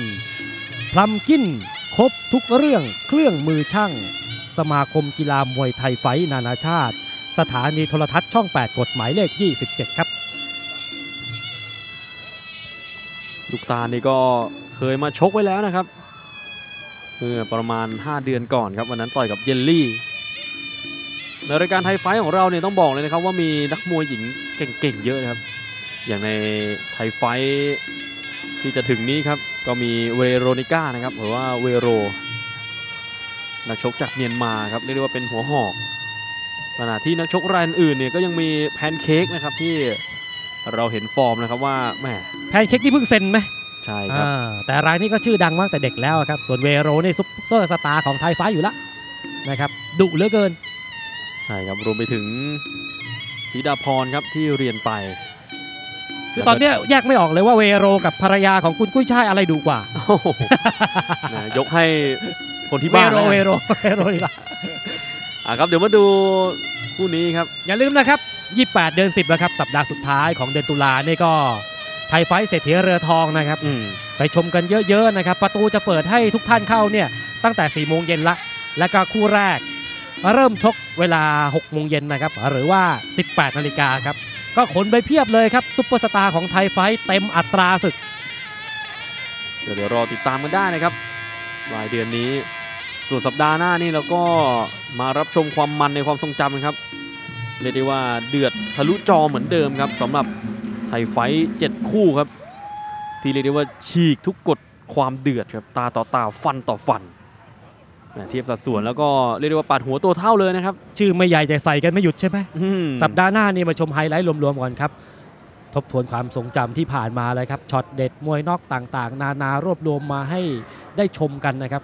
สัปดาห์หน้านี่ 22 เนาะอืม22 ตุลาเนี่ยเดี๋ยวมีไฮไลท์รวมๆมาให้ดูส่วน 29 ตุลาเจอกันที่ลพบุรีนะครับนี่ครับความมันก็มีรออยู่ทุกวันอาทิตย์เลยนะครับ ติดตามกันได้ เดี๋ยวดูคู่นี้ครับเรียกได้ว่าฟอร์มดุด้วยกันประเภทบู๊ด้วยกันครับนี่ครับแหม่แตะมือแล้วเอาเลยครับแฟนคลับมวยหญิงของเราเนี่ยบอกเลยว่าเพิ่มเป็น 2 คู่ได้ไหมครับ ตอนนี้เนี่ยเอาทีละคู่ก่อนครับเพราะว่าความมันครับแบบนี้ให้มาติดตามครับกันทุกวันอาทิตย์เติมเต็มรสชาตินะครับ สลับบรรยากาศจากชายมาดูผู้หญิงครับ เอาหมัดมาพยายามเตะคืนครับก้าวเข้ามาแล้วเตะไม่โดนเอาหมัดขวามาครับโอ้โหทิ้งเหมือนบอมเลยครับ พยายามที่จะทิ้งหมัดครับมีเตะมีต่อยครับไม่ต้องปั้มไม่ต้องกอดกันเยอะครับเน้นไปที่อาวุธมวยวงในอะเด้งไปทิ้งครับ ลูกตาล ลูกตาลนี่มุมขาวนะครับ แก้วการดามุมดำครับ ลูกตาลต่อยมาแก้วการดาเตะคืนเตะซ้ายเอาเจอหมัดขวาครับลูกนี้ขวาเตะหลุดไปครับ วงในประกบมาตีมาตีคืนแล้วครับ ก็ยังพยายามจับจังหวะกันอยู่ฮะดูครับมีแข้งมาแข้งคืนครับจังหวะต่อยหมัดโอ้แลกกันทุกวินาทีครับเอาแล้วครับเริ่มเดือดขึ้นข้างในขยับเข้าไปครับแก้วกันดา ไฟที่แล้วนี่ต่อยเดือดมากนะครับ กับน้ำหวานสอคงกระพัน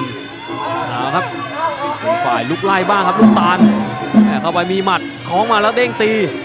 วงในเสียบเสียบอีกทีครับแม่สองเข่าเลยโอ้โหเข้าไป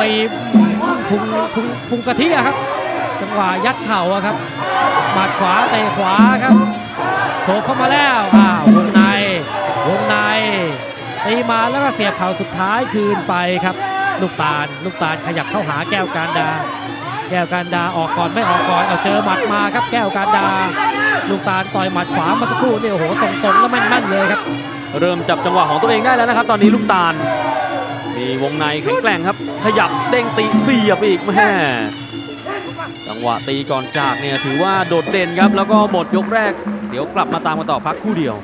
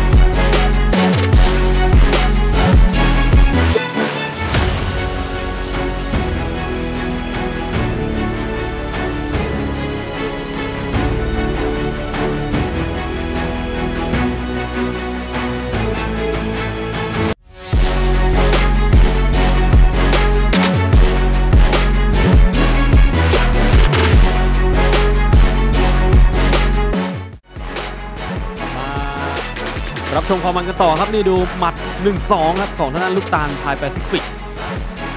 ดูครับมาแทงอย่างชิวเฉียวๆอยู่ครับนี่ฮะจังหวะต่อยหมัดครับ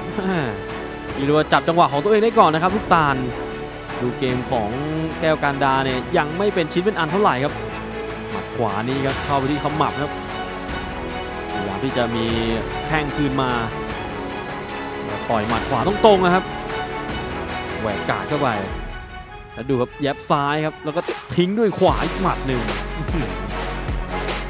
แตะแล้วมาเลยครับจังหวะวงในครับนี่ครับเสียบเน้นๆครับ เข้าลำตัว โอ้โหเข่าในเหนียวจริงๆครับโอ้มีการสะกุด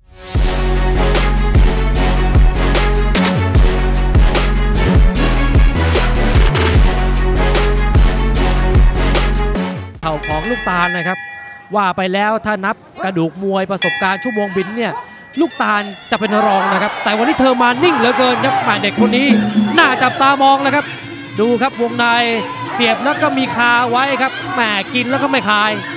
ก็พยายามจะโชว์ฟอร์มให้เข้าตาแหละครับ ตอนนี้ขยับเดินต่อลูกตาลเด้งตีเอาแก้วการดานี่ไฟก่อนก็อย่างนี้ครับทำท่าไม่ดีแต่ว่าใจเนี่ยสู้ตลอด มีความตั้งใจมากขึ้นครับมีสมาธิมากขึ้นเอาครับแทงได้หมัดมาอีกแล้วครับ ลูกตาล แก้วการดาวมีหมัดคืน วงในเด้ง โอ้แต่ดูครับ จังหวะล็อกของลูกตาลเนี่ยถือว่าทำได้ดีเอาแยกมาแล้วลุยกันใหม่ครับ เดินเข้าไปครับลูกตาลขยับขยับเข้าไปเอาแทงต่อแทงแล้วครับดูเจอหมัดซ้ายของแก้วการดาครับแม่เดินสุ่มสี่สุ่มห้าทะเลอร์ทะล่านี่ไม่ได้เลยนะครับ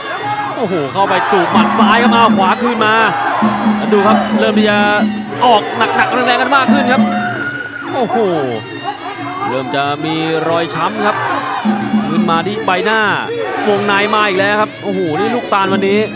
ถือว่าออกหมัดขวาได้ดีแล้วที่สำคัญเนี่ยวงในครับทำได้ดีด้วยครับโอ้แก้วการดาแหม่เห็นแวบๆเลื่อนกำเดานี่ก็ไหลเป็นทางเหมือนกันนะครับ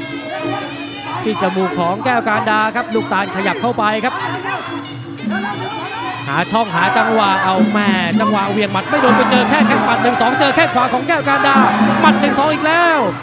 นี่ครับหมัดซ้ายจิ้มเขาเต็มเต็มหน้าเลยครับเตะซ้ายเข้าไปก่อนครับ แล้วก็วงในวงในแหมตีได้นะพยายามล็อกพยายามรัดเอาไว้แหละครับ แก้วการดาแหมพยายามแก้หมัดครับโอ้แล้วดูที่ริมฝีปากด้านบนครับ เริ่มที่จะมีบวมขึ้นมาเหมือนกันนะครับด้านแก้วกันดา เริ่มจะแก้หมัดได้ครับแต่วงในนี่แหละครับ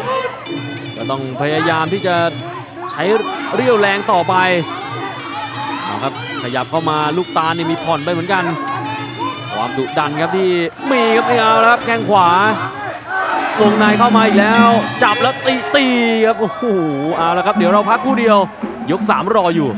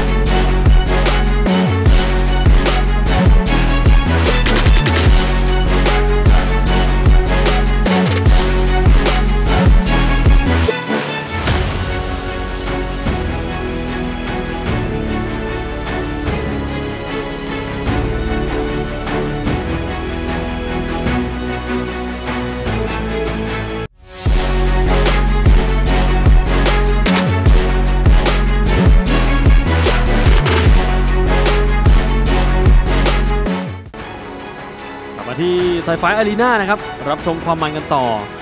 ดูจังหวะออกแข้งครับ แลกกันครับ แก้วกันดากับลูกตาลโอ้ดูที่บริเวณปากของแก้วกันดาครับโอ้เลือดอาบเลยเจอพิษหมัดแล้วดูจังหวะเด้งตีครับลูกตาลครับทำได้โดดเด่นมาตั้งแต่ในช่วงยกแรกแล้วแข้งขวาครับแก้วกันดาพยายามที่จะแก้หมัดครับ ดอกนี้เจอแข้งขวาใจสู้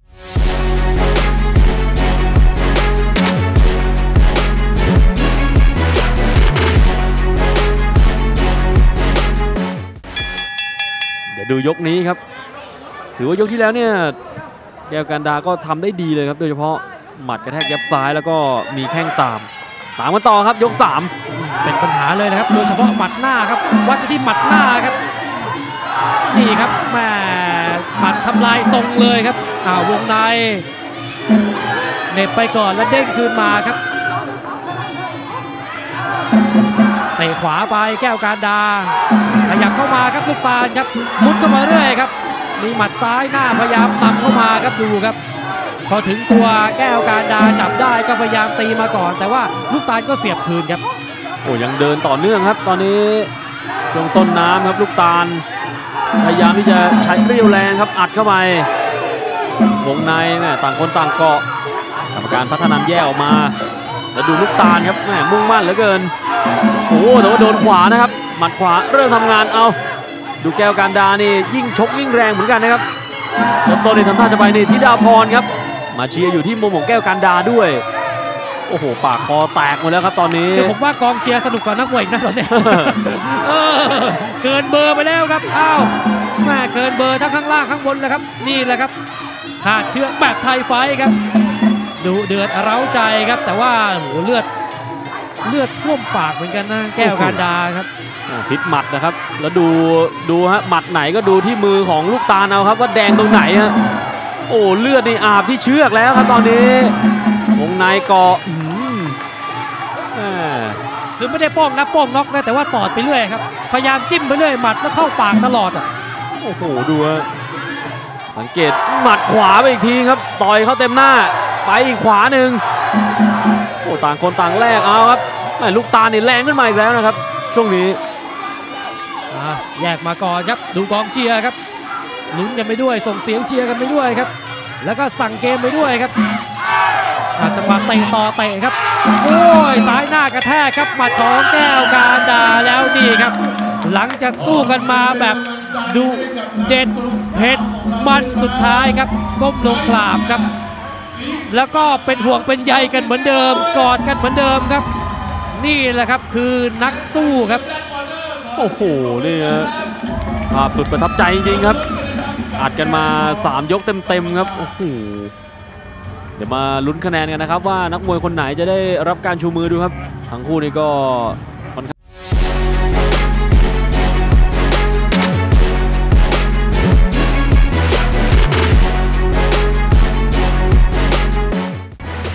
ครับจังหวะกระแทกซ้ายครับของแก้วกันดา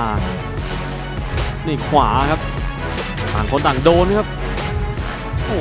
ดูจังหวะต่อยหมัดครับแลกกันเสียบเข่าครับ ยก 3 นี่เข่าอาจจะไม่ค่อยโดดเด่นเท่าไหร่ครับ แต่ว่ามีหมัดมาทดแทนดูครับจังหวะต่อยขวานี่ครับหมัดนี้เข้าเต็มๆเลยก็พยายามสู้สุดชีวิตนะครับแก้วการดา ไม่มีใครยอมใครครับคู่นี้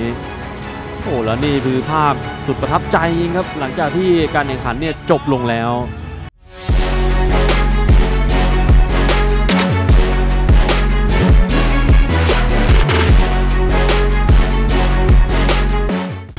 ผลการตัดสินนะครับ the winner is white corner ลูกตาล from สระบุรีก็เป็นลูกตาลพายแปซิฟิกนะครับ ที่เป็นฝ่ายคว้าใจไปเดี๋ยวคู่ต่อไปครับเพชรเมืองคงปะทะกับแสงตะวันห้ามพลาดครับ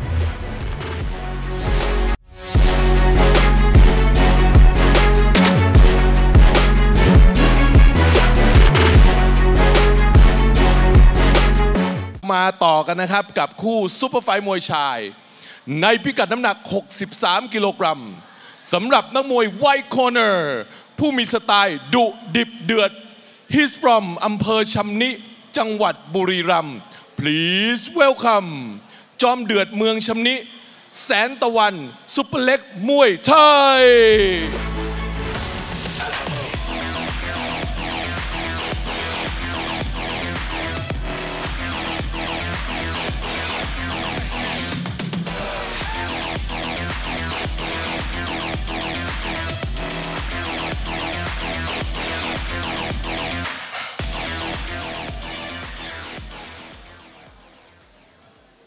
และสำหรับนักมวย Black Corner ครับ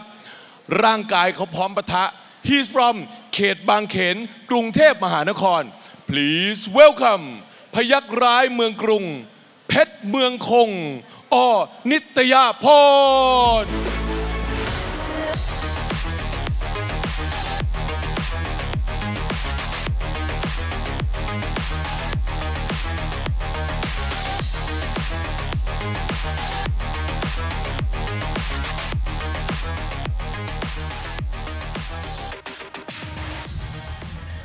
กลับมาตามความมันกันต่อนะครับ มวยคู่นี้ก็เป็นซุปเปอร์ไฟท์คาดเชือกในพิกัด 63 กิโลกรัมครับ โดยมีกรรมการอรุณกุมุตชาติเป็นผู้ชี้ขาดบนเวที ขณะที่ 3 ท่านให้คะแนนครับ มีกรรมการถาวรเอกอุบล กรรมการเสมาทิพย์คีรี และกรรมการภูกิจพรามประยูนเดี๋ยวมาดูคู่นี้นะครับ ปรับอารมณ์มาเป็นมวยชายครับ มีให้ชมกันอีก 3 คู่ด้วยกัน รวมคู่นี้นะครับ ยังมีฉัดเพชรเจอกับรุ่งตะวันแล้วก็ปิดท้ายด้วย จักมงคลกับเงาปีศาจไปดูข้อมูลของนักชกมุมขาวกันก่อนครับ นักมวยวัย 22 ปีจากอำเภอชำนิจังหวัดบุรีรัมย์ส่วนสูง 161 นะครับชชกมา 64 ครั้งชนะ 46 แพ้ 17 เสมอ 1 ชื่อจริงว่านายนัทวุฒิครุฑเทวันเจ้าของฉายาจอมเดือดเมืองชำนิ แสงตะวันซุปเปอร์เล็กมวยไทยอะนี่ครับแสนตะวันซุปเปอร์เล็กมวยไทยนะครับ มาในมุมขาวครับ ส่วนนักชกมุมดำรายนี้ครับ จากบางเขนกรุงเทพมหานครครับเด็กเต้บนะครับ 28 ปีครับนายโกสิทธิ์แก้วบุตรดี พยัคฆ์ร้ายเมืองกรุง เพชรเมืองคง อนิตยาพร เดี๋ยวดูนะครับว่ามวยหนุ่มสด หรือว่าจะเป็นจอมเก่าคนนี้ครับ ที่เป็นฝ่ายคว้าชัย อายุนี่ 22 กับ 26 นะครับ แสงตะวันนี่ก็ได้เปรียบในเรื่องของความสด ส่วนสูงเป็นทางด้านเพชรเมืองคงครับ แล้วก็ประสบการณ์เดี๋ยวมาดูว่าสุดท้ายครับใครจะได้รับการชูมืออะบุรีรัมย์เจอกับเด็กเต้บนะอ้าวเดี๋ยวดูครับกองเชียร์ไปฝั่งไหนครับ แต่ที่แน่ๆเรามาฝั่งนี้แน่นอนครับ เพราะถ้าไม่มีท่าน ความดุเดือดก็ไม่เกิดขึ้นอืมขอบพระคุณนะครับ บริษัทตรีเพชรอีสุสุเซลจำกัด บิ t แอคทีฟไบเทคบุรี การท่องเที่ยวแห่งประเทศไทย บริษัทการบินไทยจำกัดมหาชน PUMPKIN ครบทุกเรื่องเครื่องมือช่าง สมาคมกีฬามวยไทยไฟนานาชาติ สถานีโทรทัศน์ช่อง 8 กฎหมายเลข 27 ครับแม่เมื่อสักครู่นี้ที่แผ่นหลังของเพชรเมืองคงครับ สักในนายขนมต้มไว้เลยครับ ก็มีความรักมวยไทยครับเป็นชีวิตจิตใจ ส่วนแสนตะวันครับแม่ไหวครูสวยงามครับ ดูลีลาการไหวครูครับให้ครบองค์ประกอบก็นี่นะครับการไหวครู นอกจากจะเป็นการล้ำลึกถึงครูบาอาจารย์แล้วนะครับ ก็ยังเป็นการวอร์มร่างกายไปในตัวด้วยนะดูครับแหม่แผ่นหลังของเพชรเมืองคงครับ ลูกหลานนายขนมต้มนะอืมเพชรเมืองคงโดนเท่าไหร่ก็ไม่ลง เอาเดี๋ยวดู ใช่ไม่ใช่ เดี๋ยวดูแหมแล้วเจอของใหญ่ซะด้วยวันนี้ หรือว่าใหญ่กว่าเธอก็เจอมาแล้วก็ไม่รู้นะฮะ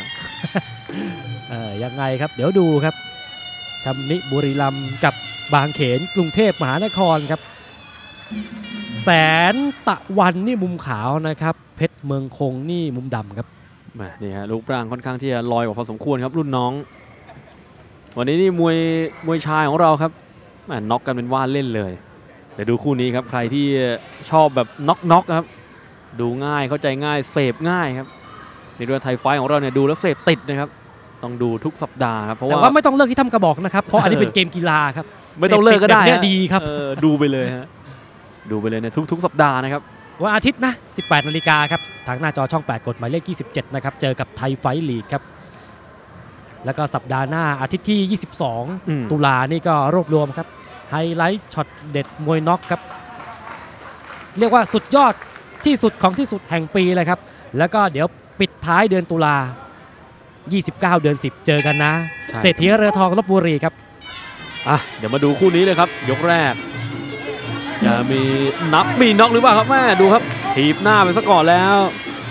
โอ้แล้วดูนิ่งครับแม่อืมพยายามจะโชว์ศิลปะแม่ไม้มวยไทยครับโอ้เจอเตะเข้าเต็มอกเลย ยังมีแต่ลีลาอยู่นะครับ ตอนนี้เพชรเมืองคง แสนตะวันนี่ไม่เล่นด้วยครับดูหน้าตาแกเอาจริงเอาจังเหลือเกินชีวิต เพชรเมืองคงเนี่ยแหมแกโชว์ความพลิ้วครับ แต่ว่าแสนตะวันแกแหมอาศัยความหนักครับ แล้วหน้าตาแกทำไมนะจริงจังเหลือเกินจริจังเหลือเกินโอ้ดูครับตั้งใจครับวันนี้ต้องการที่จะเก็บชัยชนะกลับบ้านให้ได้ครับนักชกจากบุรีรัมย์ดูครับแม่เดินเข้ามาร่างกายเนี่ยดูสวยงามเลยนะครับ เอาอัดเข้าไปที่แข้งอีกทีนึงแม่ เพชรเมืองคงเนี่ยเฉยๆครับ เดี๋ยวรอดูอาวุธเด็ดตั้งรับโอ้ยโดนหมัดหมัดขวาครับเข้าเต็มหน้า จะก้าวแทงนะครับ เจอหมัดสวนแสนตะวันบอกผมไม่เล่นด้วยครับ ผมไม่พลิ้วกับพี่ด้วยครับ ผมรอประเคนของหนักอย่างเดียวครับนี่ครับเตะขวาไปครับ แสนตะวัน พยายามจะหมัดสอยดาวมาเอาเจอหมัดเหมือนกันครับจับได้เกี่ยวได้พยายามโต้ด้วยแข้งแต่ว่าไม่โดนนะครับ แข้งของเพชรเมืองคงครับ เดี๋ยวดูนะครับว่ามีทีเด็ดหรือเปล่า เราเห็นอาวุธของทางด้านแสนตะวันแล้วครับแข็งแกร่งวงในเอามีเข่าคืนแหม่ยิ้มเขินๆครับอัดกันต่อกลางเวที ดูครับจังหวะลุกไล่อาวุธยังไม่ถึงนะครับเพชรเมืองคง สับขาได้ เอาครับเจอเข่าคืนอื้อหือหมัดมาอีกแล้วแหม่หมัดอันตรายเลยครับ แสนตะวันหนูขวานี่ต่อยแต่ละทีนี่หน้าหงายตลอดแม่ขนาดไม่โดนขนาดไม่หงายจังหวัดเฉวียนยังเสียวเลยครับ ขยับขยับโอ้ว้าวแข้งกับหมัดครับถีบไว้ก่อนครับเตะขวาเจ่อล่างหมัดขวาพยายามทิ้งไปครับโอ้ยมีหมัดขวาโต้ขึ้นเหมือนกันนะครับปล่อยลำตัวมาเจอใบหน้าแล้วแม่ เริ่มมาถี่ขึ้นเรื่อยๆครับอาวุธของแสนตะวัน แต่ที่สำคัญนี่ยังหยุดการเดินของเพชรเมืองคงไม่ได้นะครับเพชรเมืองคงอ้าวมีแข้งโตหมัดเอ้าใครดีใครอยู่ครับโอ้อ้าวเริ่มจะไม่อยากจะเล่นแล้วครับ หน้าตาจริงจังบ้างเหมือนกันนะครับหมดยกแรกพักให้น้ำครู่เดียว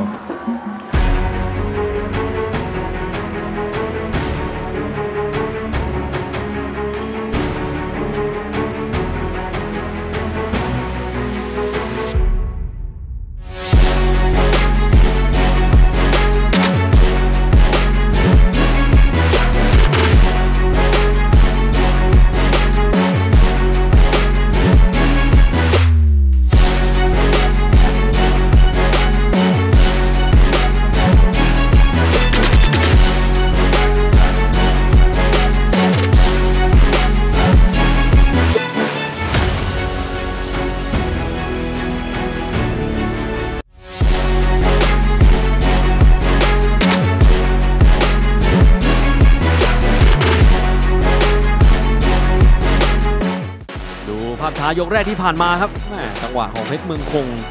เล่นของสูงเลยครับ นี่ครับแม่แอคหน่อยครับหลบได้ แล้วต่อยขวาครับแม่เกือบจะหงายหลังเหมือนกัน ดูครับ จังหวะต่อยหมัดครับ โตคืนแล้วขวาคืนครับของทางด้านแสนตะวันครับอืมแสนตะวันนี่สายเลือดดีนะ ใช่ครับก็เป็นลูกชายของแสนชัยจิรักเกรียงไกรครับขุนเข่าเขย่าขวด จริงๆก็มีคนครับแสน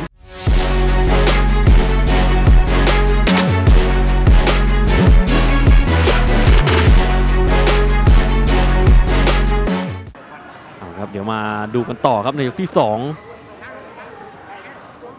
เช็คฟันยางครับ ดูยกนี้ครับจะมีนับมีน็อกหรือเปล่าครับที่มุมเนี่ยบอกว่าออกหนักๆครับนี่ครับแหมมาเลยครับแข้ง อะยกนี้ขยับเดินเข้าหาเลยเลยครับนี่แข้งขวาครับเพชรเมืองคงอะแสนตะวันบอกแหมโดนกระจับครับขอโทษขออภัยกันเลยครับ ใหญ่กว่าหนักกว่าครับแสนตะวันครับเพชรเมืองคงผิวออกไม่ออกครับเจอศอกเจอแข้งครับก็สู้สุดชีวิตเหมือนกันครับตอนนี้เพชรเมืองคงอ้าวมีแข้งมาแสนตะวันครับแข้งขวาเอาเตะตัดล่าง ตอนนี้นี่เริ่มที่จะทวีความเดือดขึ้นแล้วนะครับ ดี๋ยวดูครับว่าใครจะลงเปหยับเดินเข้ามาครับ แสนตะวันเอา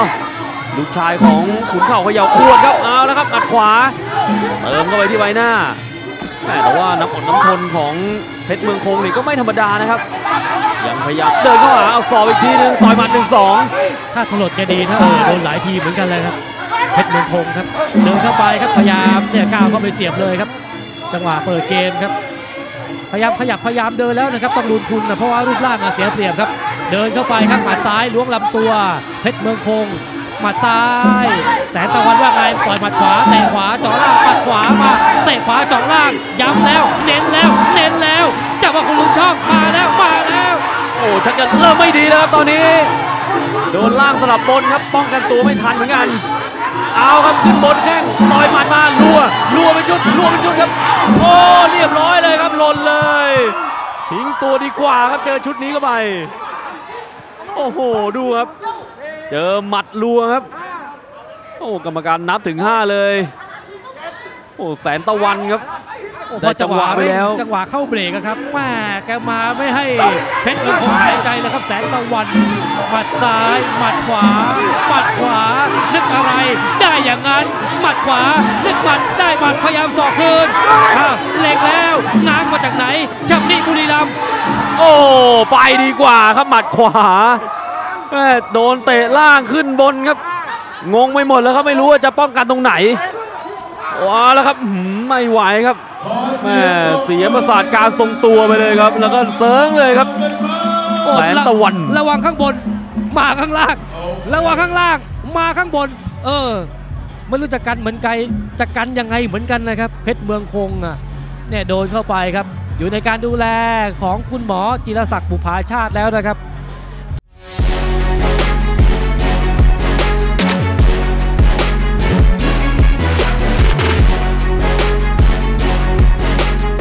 จำไว้เลยครับโอ้โหอ้าวดูภาพช้าหน่อยครับ ดูภาพช้าๆหน่อยครับ เจาะลูกนี้ครับช่วงล่าง มีมีแข้งคอยโต้มาเหมือนกันนะครับเพชรเมืองคงอะครับยังหือยังอืออยู่ครับ หลังจากนั้นก็นี่ครับค่อยๆเตะ ค่อยๆกล่อมไปเรื่อยๆ ค่อยๆกล่อมเข้าไปครับดูหมัดครับ ออกได้ออกมาได้มาครับการไม่ทันเหมือนกันถ้าจะสาวแบบนี้ครับดูครับอ่าทิ้งตัวดีกว่าครับ ไม่รู้จะกันยังไงอะครับ มารัวๆเหลือเกินครับ จังหวะต่อยหมัดของแสนตะวันนะครับ หมัดขวามาครับ ขวาดอกนี้ครับ ต่อยที่มือทะลุถึงกรามแล้วก็ไปถึงหัวใจครับ เออแล้วดูครับสุดท้ายท้ายสุดครับ ไม่ไหวครับ โดนสะสมไปเยอะๆมาก ๆหลาย ๆ ขนาดครับ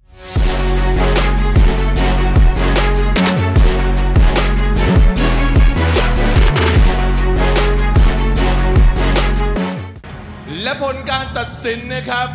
and the winner is by technical knockout white corner แสนตะวัน from บุรีรัมย์ก็เป็นแสนตะวันที่คว้าชัยไปนะครับ เดี๋ยวคู่ต่อไปขยับน้ำหนักขยับความมันไปที่ 71 กิโลกรัมเดี๋ยวกลับมาครับ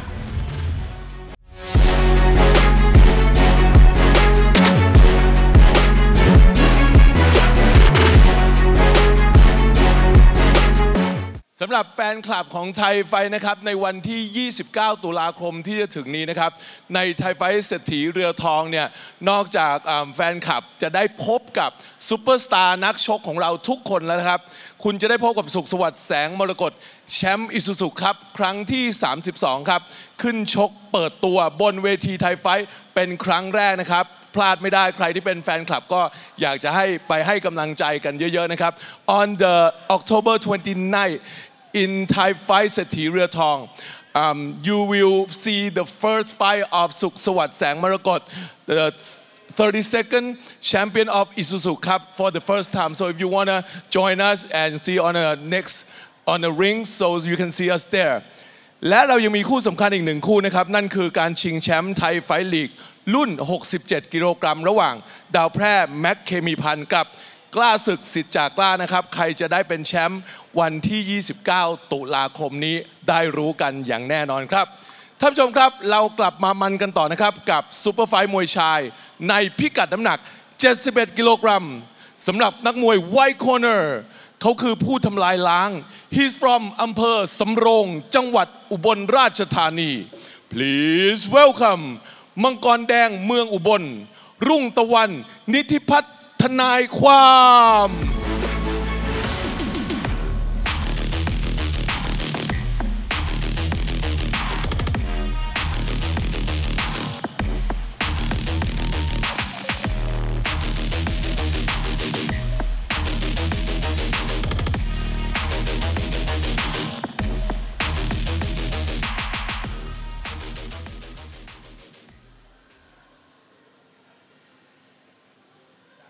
และสำหรับนักมวย Black Corner ครับละอ่อนน้อยอายุ 16 แต่ใจห้าวเกินอายุครับ He's from อำเภอเมืองจังหวัดลำปาง Please welcome อสูรร้ายแห่งเมืองเหนือ ชัดเพชร โรงเรียนกีฬาลำปาง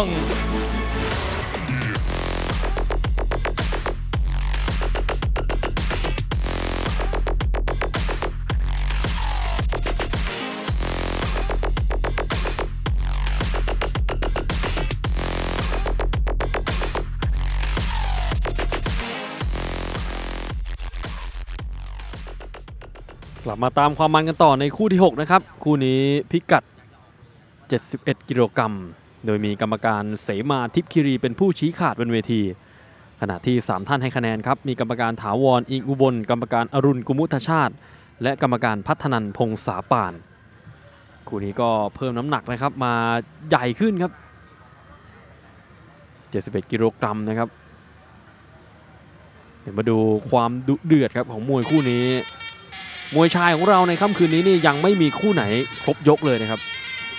น็อกกันมารวดเลย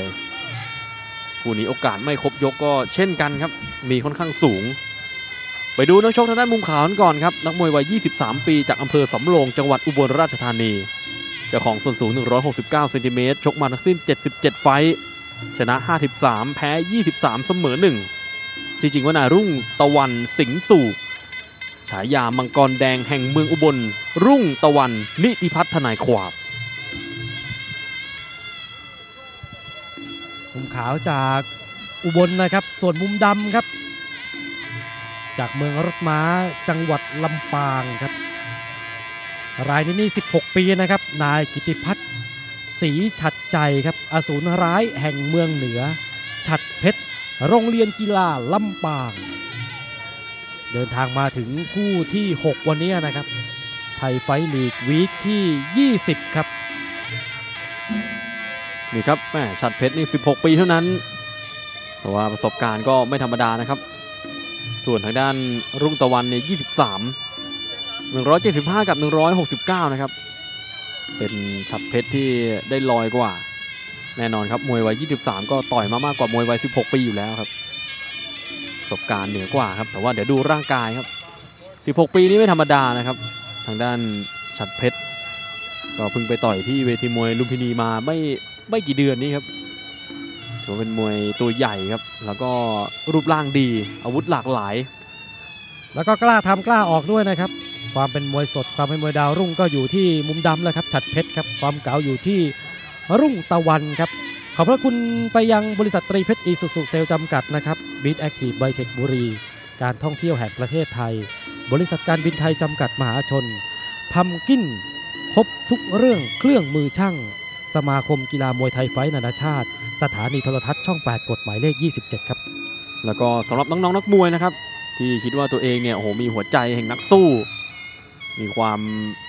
เป็นนักสู้อยู่ในตัวครับ ชกสนุกนะนะ ใช่ครับ แล้วก็อาจจะยังไม่มีโอกาสในการอ่าแสดงฝีมือครับ ให้ทั่วโลกได้เห็นครับ ติดต่อเข้ามาได้เลยนะครับ ที่รายการไทยไฟท์เห็นไทยไฟท์ชกสนุก แล้วน้องก็คิดว่าแหมตัวเองชกสนุกเหมือนในไทยไฟท์อืมอยากชกที่นี่เปิดกว้างไหมเปิดกว้างนะโอ้โหเปิดกว้างเลยครับ ทางผู้บริหารของเราครับ ก็ได้ ฝากย้ำเตือนมาครับว่า อันนี้เราไม่ได้พูดเองนะ ใช่ครับ พี่มดนพพรวาทินเป็นคนบอกมานะว่าแจ้งไปยังน้องๆที่อยู่ต่างจังหวัดใช่ที่นี่ครับโอกาสเปิดกว้างนะครับ อยากชกในไทยไฟท์อยากร่วมงานกับไทยไฟท์สะกิดมาครับอืมสะกิดมาทาง Facebook นะครับ ของไทยไฟท์ official ครับ นี่ครับก็เป็นเวทีให้กับนักชกหน้าใหม่จากภูธรครับ แต่ว่าตอนนี้นี่ก็ได้สตาร์ดังไปหลายคนแล้วครับ กล้าศึกดาวแพร่เนี่ยเดี๋ยวเจอกันวันที่ 29 ยังมีสุขสวัสดิ์ครับที่รอเจอกับนักชกต่างชาติครับในรายการไทยไฟท์ในวันที่ 29 เช่นกันนะครับ แล้วก็อีกหลายๆคนครับไรออนเนี่ยเป็นไงพี่เอกอืมเดือฮักไงอ่าฮะเออหลายๆท่านนะครับ จากช้างเผือกครับ สู่เพชรเม็ดงามในไทยไฟท์ครับอะมาดูคู่นี้ครับมุมขาวนี่ รุ่งตะวันนะครับ เก๋ากว่าครับ แต่ว่าแม่โดนครับ เอาเท้าลูบหน้านักมวยรุ่นน้องอย่างฉัดเพชรไปแล้วครับแม่เตะหนักเลยนะครับเรานี่ก็เรียกว่าฉัดเพชรนี่อาจจะดูว่าแข็งแกร่งครับ แต่ว่าไม่ธรรมดานะครับลุงตะวันเอาครับชัดเพชรแม่แข้งหนักๆแม่เป็นอีกคนหนึ่งหรือเปล่าครับที่ต้องจับตามองครับอาวุธแต่วันนี้ต้องผ่านรุ่งตะวันไปก่อนนะเพราะว่าความเก่านี่เต็มเปี่ยมอยู่แล้ว ยับเข้าไปครับมัดหนึ่งสองเตะขวาครับ โอ้ยสิทธิ์ทิ้งทั้งศอกเลยครับจังหวะโฉบเข้าไปแล้วก็ทิ้งไปครับศอกครับ ขยับเดินเข้ามาครับ เด็กกำลังห้าวครับ 16 ปีแล้วดูรูปร่างครับแม่วงในโก่งมายังตีไม่ได้ลุตะวันครับได้หายใจ รูปร่างเล็กกว่าแต่ว่าแข้งหนักนะครับ ดูโอ้โหจังหวะหวด โอ้โหหวดมาอีกแล้วครับ แข้งขวาของฉัดเพชรคิดหนักแล้วตอนนี้ทางด้านรุ่งตะวันการตัดสินใจชักจะขัดขาดกันเกินครับ เจอแข้งเข้าไป แล้วก็หนักๆซะด้วยสิครับแหม่ประสบการณ์เป็นรองแต่ว่าได้เปรียบเรื่องของรูปร่างเลยครับ มุมดำอย่างฉัดเพชรนะครับ แข้งขวาผ่านแล้วเอาเจอหมัดซ้ายครับ ถึงตัววงในแทงเข่าซ้ายแทงเข่าซ้ายครับ แยกมาก่อนครับ แยกมาก่อนครับมืออีกข้างก็ไปขวางหน้ารุ่นพี่เอาไว้ครับ โอ้นี่ก็จากจังหวัดลำปางนะครับอสูรร้ายแห่งเมืองเหนือไม่รู้ว่าทางรุ่งตะวันครับจะมีโอกาสพลิกเกมอย่างไรเหมือนกัน ก็ต้องหาจังหวะครับเสียวินาทีนี้อะไรก็เกิดขึ้นได้เอาครับแทงซ้ายแต่ว่าเจอต่อยคืนฟันสองนี่ฮะจังหวะบวกกันแบบนี้แหมโดนเต็มๆนี่รุ่นน้องอย่างฉัดเพชรก็หล่นได้เหมือนกันอะก็ต้องระวังตัวแจด้วยแล้วครับ จังหวะที่เดินเข้าไปทำออกอาวุธนะครับ ฉัดเพชรเตะขวาไปเจอเตะเจาะล่างของรุ่งตะวันคืนมาครับ ฉัดเพชรค่อยๆ ขยับนะครับ ก็พยายามหาช่องหาจังหวะไปด้วยแล้วก็ระวังตัวไปด้วยครับอ่าเจอแข้งมาโต้คืนด้วยแข้งเอามาแข้งขวาแล้วก็ศอกอีกทีเสียบเข่าซ้ายก่อนจากหมดยกแรกครับ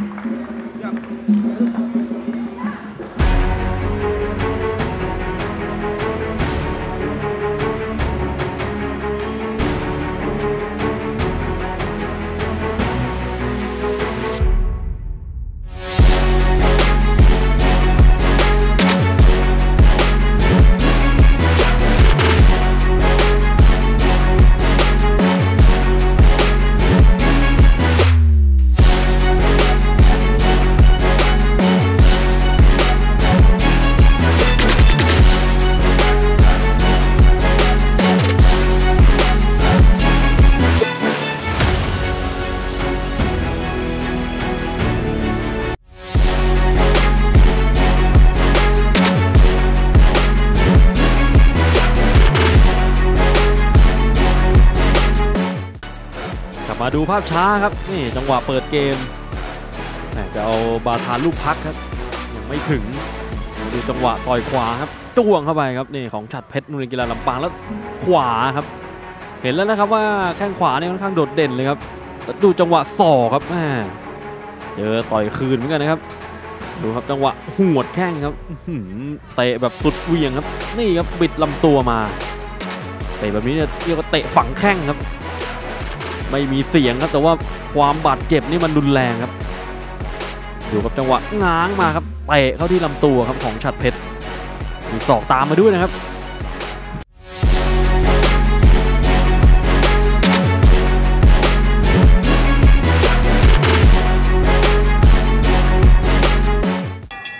เดี๋ยวมาตามกันต่อนะครับในยกนี้ จะมีนับมีน็อกให้เห็นอีกหรือไม่ครับ เดี๋ยวยกที่สองครับ โอ้โหเปิดตัวมายกสองครับแม่กู้ชายบอกเตะฝังแข้งครับแกเตะให้ได้ยินไปเลยครับ แข้งขวาของสันเพชรนะครับอ้าวแหมเล่นเอาซะเอียงเหมือนกันครับเสียหลักไปเล็กน้อยครับ รุ่งตะวันลุงตะวันก็ยังมีเขี้ยวเล็บอยู่นะครับประเภทจอมเก่าอยู่แล้วอาจจะรอจังหวะเหมาะๆครับ ทีเดียวอยู่ก็เป็นไปได้นะครับ เพราะว่าก็ยังพอจะมีเรี่ยวแรงอยู่เนี่ย หมัดหนึ่งสองโอ้แต่ว่าเจอหมัดไปก่อนแล้วครับแม่อ่าเหมือนจะบอกกรรมการครับว่านิ้วจิ้มตาหรือเปล่าเช็คนิดนึงครับยังปล่อยได้ครับ กรรมการเสมาครับให้สู้กันต่อเดินขึ้นไปครับแต่พอเจอแข้งมาแกต่อยหมัดคืนครับ นี่ครับวงใน แทงไปตีไปเข่าของฉัดเพชรสับเข้าไป แข้งนี่คือจุดขายแต่อาวุธอื่นแกก็หลากหลายนะ โอ้โห หนักแรงด้วยครับเมื่อสักครู่นี้ศอกเริ่มที่จะตกในเกมที่ยากลำบากมากขึ้นแล้วครับ ตอนนี้ทางด้านลุงตะวันนี่ครับ มาชุดใหญ่แล้ว วงในบี้เข้าไป อาศัยความสดครับ บทความเก่า โอ้โห ดูครับ เดินเกมได้ดุดันทีเดียวครับทางด้านฉัดเพชรบทต่อครับ ความสดครับ เดินเข้าไปแข้งยาวๆมาอีกแล้วโอ้โหดูครับแม่เตะไถเลยหัวไปเลยครับ แข้งของฉัดเพชรนะครับมัดซ้ายหมัดขวามารุ่งตะวันหมัดหนึ่งสองเจอแข้งขวาเจอแข้งขวาแล้วหยุดหยุดหรือเปล่าครับ เจอศอกไปอีกครับแม่เดินเข้ามาจะต่อยหมัดเขาครับพอเจอแข้งนี่แหมมีมีพังงะเหมือนกันนะครับโอ้โหมีช็อตไปสักประมาณ 1 วินาทีครับแล้วดูที่ดวงตาซ้ายครับของทางด้านรุ่งตะวันครับ เริ่มจะมีบวมขึ้นมาครับยังมีหมัดอันตรายอยู่จวงเข้าไปเอาซ้าย โอ้แล้วดูแข้งครับ โอ้โหแข้งขวานี่ออกได้ธรรมชาติครับแล้วก็มาทุกมาทุกจังหวะจริงๆเอาแล้ววงในโอ้แล้วดูครับ โอ้จังหวะจับผมวงในไปอะครับโอ้แล้วดูครับบอบช้ำเลยครับดูครับ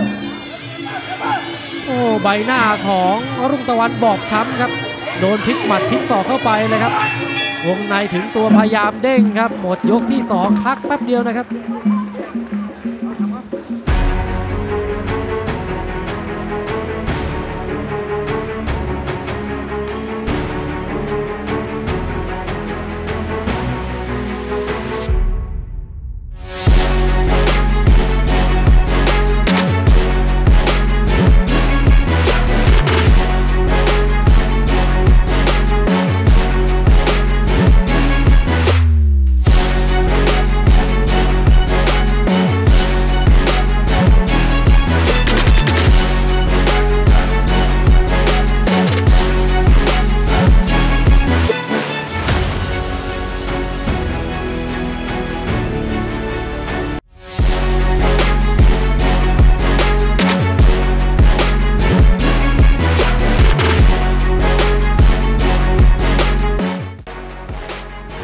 กันต่อครับจังหวะ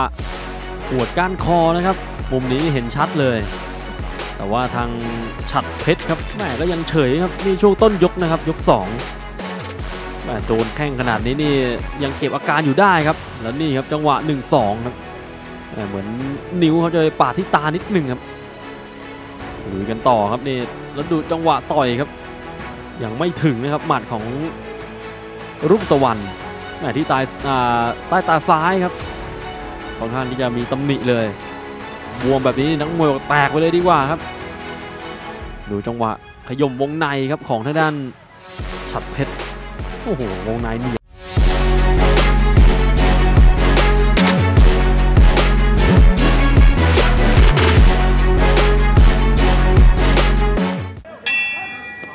เอาครับกลับมาตามกันต่อครับในยกสุดท้าย นี้นี่จะจบแบบไหนครับ เห็นอาวุธของฉัดเพชรแล้วนะครับ ส่วนรุ่งตะวันนี่ก็ต้องพยายามยกระดับตัวเองขึ้นมาครับพยายามดูจะเอาคืนนะครับรุ่งตะวันครับ แต่ว่าดูครับแม่ฉัดเพชรครับจะให้ศอกให้แข้งมาครับเข้ามาเจอหมัดซ้ายของรุ่งตะวันหยิบแล้วเตะครับฉัดเพชรเจอหมัดขวาหมัดคอยเวียงอยู่เรื่อยนะครับ รุ่งตะวันครับสวมบทโหดแล้วเดินเข้าไปหมัดซ้ายหมัดขวาครับฝาฝาโดนแข้งเข้าไปก่อน อ่าวงในครับ แยกมาครับ โอ้โห ดูฮะก็กัดฟันบวกสุดชีวิตเหมือนกันนะครับรุ่งตะวัน แต่ว่าจะเสียเปรียบในเรื่องของรูปร่างครับ แต่ว่าหัวใจครับ ไม่มียอมอยู่แล้วครับเอาละครับ อัดเข้าไปหมัดมาเอามีเอียงเหมือนกันครับแม่เมาหรือเปล่าครับตอนนี้โอ้ชัดเพชรโดนเข้าไปอีกแล้วครับ นี่แหละครับหัวใจมาก่อนครับทางด้านลูกตะวัน พยายามเกรงแล้วก็เดินเข้าหาเลยครับคือน้องจะเตะพี่ก็เตะมาเลยครับ พี่กะต่อยหมัดอย่างเดียวครับว่ารุ่งตะวันตอนนี้ แผนเป็นแบบนั้นนะครับ หมัดขวาโดนนะ หมัดขวาโดนนะอ้าวเล็งแล้วเล็งแล้วต่อยอย่างเดียวเลยครับ แบกกำปั้นเข้าหาครับต่อยลำตัว ดูครับ แข็งใจครับ หลังจากที่หน้าตัวเองบอบช้ำแข็งใจครับเอาเจอศอกครับ เจอศอกครับหมัดพยายามคืนไปอ่าอ่าต่อยไม่ต่อยครับช้าเจอแข้ง แหมอะไรที่ว่าแน่ครับตอนนี้ ชักจะไม่แน่นอนแล้วครับหมัดมวย โอ้โห ดูรุ่งตะวันเนี่ยหัวใจสุดยอดจริงๆ ยังคงต้องการที่จะพลิกเกมครับ หมัดแม่ง้างซ้าย ขวาอีกหมาอีกครับหมัด เกี่ยวมาโอ้โหแต่ดูดูครับแม่เหมือนทางด้านฉัดเพชรนี่เริ่มจะตั้งเกมของตัวเองกลับมาได้แล้วครับลุงตะวันมีก๊อกไหมครับ ใส่อีกก๊อกครับเปิดก๊อกพิเศษมาเลยแม่ไม่โดนครับเจอขวาคืนต่อยตรงไหนดีครับอรุ่งตะวันต่อยตรงไหนดีครับอะช้าปุ๊บเจอแข้งทันทีครับ เจอแข้งอีกแล้ว ออกได้ทั้งซ้ายหน้าขวาหลังเลยครับ แข้งของฉัดเพชรเอาหมัดขวานี่อุ้ย ง้างมาไกลเลยครับง้างมาไกลจากอุบลเลยเลยครับแหมหมัดมวยครับนี่ครับ ทีเดียวนี่เกมเปลี่ยนได้เลยครับ ยังมีเวลาให้กับทางด้านรุ่งตะวันอยู่ค่อยๆสืบเท้าไปครับ เก็บพลังแล้วก็ปล่อยเข้าไปสุดๆนี่ครับแม่เข้าไปเต็มหน้าเหมือนกันโอ้โห แต่ว่าก็ต้องชมท่าทรหดของฉัดเพชรด้วยนะครับ โดนเข้าไปมีเอียงมีเป๋ครับ แต่ว่า ก็พยายามที่จะป้องกันตัวไว้ ดูครับแม่ง้างมาเจอเกาะวงในครับ เกมของรุ่งตะวันอาจจะดูช้าลงไปนะครับ แต่ว่าหมัดแกก็ยังไว้ใจไม่ได้ครับ เจอแข้งมาครับง้างแล้วหูยดูครับแม่ดีครับไม่โดนหมดยกสุดท้ายครับ โอ้โหนี่ฮะนึกว่าจะจบแบบไม่ครบยกแล้วนะครับ แต่ว่ารุ่งตะวันครับก็ สู้ได้ดีครับ โอ้ทำเอา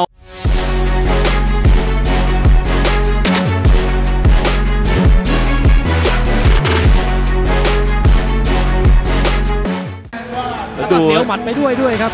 นี่จังหวะขยับจะไปต่อยเขาอะเจอศอกครับอรุ่งตะวันครับ หมัดพยายามเหวี่ยงมาแต่เมื่อสักครู่แข้งมันยาวกว่าครับ หมัดขวาดอกนี้เข้านะครับ เออเนี่ยตัดเวทีเข้าไปครับ จังหวะนี้เจอศอกของฉัดเพชรครับรุ่งตะวันพอช้าปุ๊บนี่ครับแล้วพยายามสวนคืนด้วยหมัดนะครับเตะไม่โดนเจอทำโทษครับ เจอทำโทษสองแข้งไปเลยครับ เกี่ยวได้แล้วโอ้ดูครับแม่แกเหวียงมาแบบดูครับเกี่ยวสิจ๊ะแม่เกี่ยวแล้วก็นี่ครับหมัดซ้ายครับรุ่งตะวัน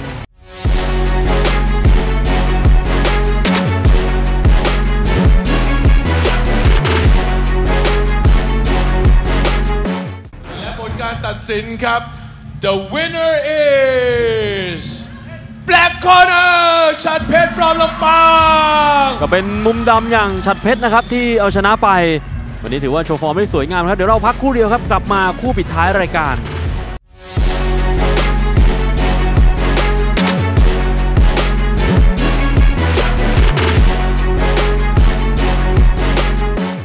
สำหรับsuper fight มวยชาย ในพิกัดน้ำหนัก 63 กิโลกรัมสำหรับนักมวย white corner ตัวตึงโทษครับ ตัวตึงจากเมืองโคราช he's from อำเภอบัวใหญ่จังหวัดนครราชสีมา please welcome ไอ้สิบล้อเบรกแตก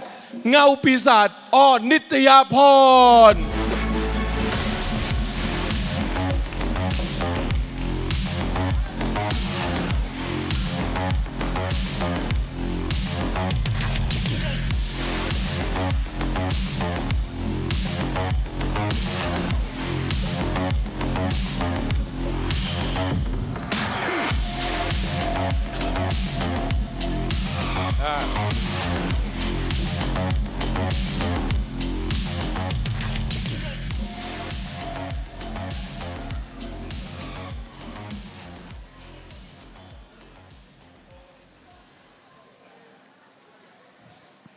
และสำหรับนักมวย Black Corner ครับ ผู้มีลีลาดุดันไม่เกรงใจใคร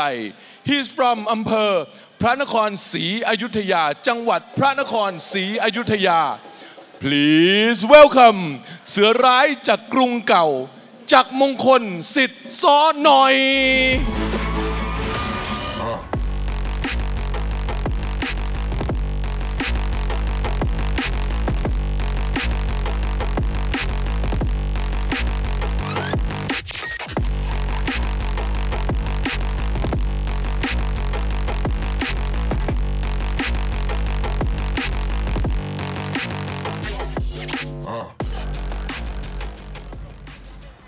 กลับมาชมความเดือดกันต่อนะครับกับมวยคู่ที่ 7 ของรายการโดยมีกรรมการถาเอ่อภูกิจพรามประยูนครับเป็นผู้ชี้ขาดบนเวที โดย 3 ท่านให้คะแนนครับมีกรรมการถาวรอิงอุบลกรรมการอรุณคุมุทชาติและกรรมการเสมาทิพย์คิรี คู่นี้ก็พิกัด 63 กิโลกรัมนะครับมาดูว่าเกมการชกเนี่ยจะเดือดขนาดไหน มาแล้วนะสิบล้อเบรกแตกอะขวัญใจคุณนี่เออชอบมากครับฉายาเนี่ยอย่างเท่ฮะ เดี๋ยวไปดูข้อมูลครับของนักชกทั้งคู่กันหน่อยครับ ก่อนที่จะมารับชมความมันกัน นี่คือนักชกวัย 23 ปีครับจากอำเภอบัวใหญ่จังหวัดนครราชสีมา ส่วนสูงครับ 163 ชกมา 46 ชนะ 33 แพ้ 11 เสมอ 2 ฉายานี่นะครับ ไอ้ 10 ล้อเบรกแตกนะครับ เงาปีศาจอนิตยาพร ก็น่าเสียดายนิดนึงนะครับที่ในมวยรอบเนี่ยเขาไปไม่ถึงฝันนะครับ เพราะว่าไปอยู่ร่วมสายกับอ่าคู่ชิงนะฮะทั้งกล้าศึกทั้งดาวแพร่ครับ โอ้โหเรียกได้ว่าโชคร้ายครับ จับฉลากไปอยู่สายเรียกได้ว่ากรุ๊ปออฟเดทนะวันนี้ก็อยากจะกลับมาแก้ตัวอีกครั้งอะเดี๋ยวดูครับ 10ล้อเบรก10 ล้อเบรกแตก อันนี้รถพ่วงเบรกอยู่ครับ เดี๋ยวดูครับ นักชกมุมดำรายนี้ครับ 23 ปี จากพระนครศรีอยุธยาครับ นาย ปรนินสิริภากุลธาดานะครับ เสือร้ายจากกรุงเก่า จากมงคลสิทธิ์ซ้อนหน่อยเอาละครับแหมจะเป็น 10 ล้อหรือว่าจะเป็นเสือร้ายครับ อายุนี่23 เท่ากันเลยนะครับ ส่วนสูงนี่เป็นจักมงคลครับที่ได้สูงได้ลอยกว่าครับ ส่วนประสบการณ์ก็ต่อยมามากกว่าเล็กน้อยครับ คือตั้งแต่ดูเงาปีศาจต่อยยังไม่เคยสูงกว่าใครเลยนะครับ มีเท่าๆก็กับกล้าศึกนะฮะที่ต่อยวันนั้น คือแกไปประเภทกลัวกลัวความสูงครับ ขออยู่แต่ที่ราบดีกว่านะครับ ขอบพระคุณนะครับ เดินทางมาถึงคู่สุดท้ายแล้วครับ บริษัทตรีเพชรอีซูซุเซลส์จำกัด BEAT Active BITEC บุรีครับ สถานที่ที่ไทยไฟท์ลีกถ่ายทอดสดทุกสัปดาห์วันอาทิตย์ 18นาฬิกาการท่องเที่ยวแห่งประเทศไทย บริษัทการบินไทยจำกัดมหาชน พัมกินพัมคินครบทุกเรื่องเครื่องมือช่าง สมาคมกีฬามวยไทยไฟนานาชาติ สถานีโทรทัศน์ช่อง 8 กฎหมายเลข 27 ครับเอาครับเดี๋ยวมาปิดท้ายค่ำคืนนี้ครับด้วยคู่นี้เลยในพิกัด 63 กิโลกรัมนะครับ เดี๋ยวมาดูว่าใครน็อกใคร จากมงคลสิทธิ์ซ้อนหน่อยครับ ขวามือท่านผู้ชม มุมดำขณะที่มุมขาวครับเงาปีศาจอ่อนนิตยาพร แฟนมวยก็น่าจะคุ้นเงาปีศาจมากกว่าแล้วครับ อย่างที่เรียนไปว่าต่อยในมือรอบมา ฉายาในโดดเด่นเลยนะครับ เดี๋ยวดูว่า 10 ล้อเนี่ย จะเบรกแตกได้ไหมครับ จะพุ่งชนชยชนะได้หรือเปล่าเอาครับยกแรกมาเลยครับขยับเข้าไปแล้วครับเงาปีศาจครับเจอแข้งซ้ายครับ เจอแข้งซ้ายของจักรมงคลครับ ถีบไว้ก่อนครับอาศัยความยาวครับ มือก็คอยดันขาก็คอยถีบไว้ ไม่ให้เข้าถึงตัวครับ ต้นต้นอาวุธยังหนักอะยังทรงอานุภาพครับเอาหมัด 1 2 3 ครับแหมเข้ามาเจอหมัดก่อนเลยนะครับทางด้านเงาปีศาจดูครับแหมมาทุกทิศครับหมัดของจักรมงคลแหมมวยไทยเนี่ยต่อยอัปเปร์คัตได้เนี่ยถือว่าทำอันตรายคู่ชกที่เตี้ยกว่าได้ดีเลยนะครับแหมแล้วดูจังหวะเดินครับโอ้ถือว่าห้าวหาญมากครับ สมฉายาไอ้สิบล้อเบรกแตกเอาเจอซ้ายไปทีนึงโอ้จะเข้าถึงตัวหรือเปล่าครับตอนนี้ เจออาวุธโอ้โดนศอกครับแม่โอ้มีบวกหมัดมาเหมือนกันนะครับ ตอนนี้เอาแล้วครับเลือดต้องแลกด้วยเลือดครับหมัดต้องแลกด้วยหมัดมาแล้วครับแม่เริ่มจะหนีไม่ออกเหมือนกันเอาเดี๋ยวดูครับ เดินเข้าไปทำหรือว่าเดินเข้าไปโดนนี่ครับพอหลุดแล้วโดนนะครับที่หางคิ้วขวานี่เหมือนมีแผลแล้วนะเงาปีศาจ โอ้เริ่มจะเปิดแผลไปแล้วครับแล้วดูจักมงคลนี่วางแผนมาดีครับไม่ปะทะด้วยก็ค่อยๆออกอาวุธครับดูครับมือนี่กางเอาไว้เลยครับใช้ความยาวความได้เปรียบ แล้วดูครับฟันศอกไปแต่ว่าทางด้านเงาปีศาจนี่ยังยักคิ้วเรียกอยู่นะครับเอาเข่าร้อยอีกทีนึงโอ้เริ่มจะโดนหนักขึ้นแล้วครับศอกไปอีก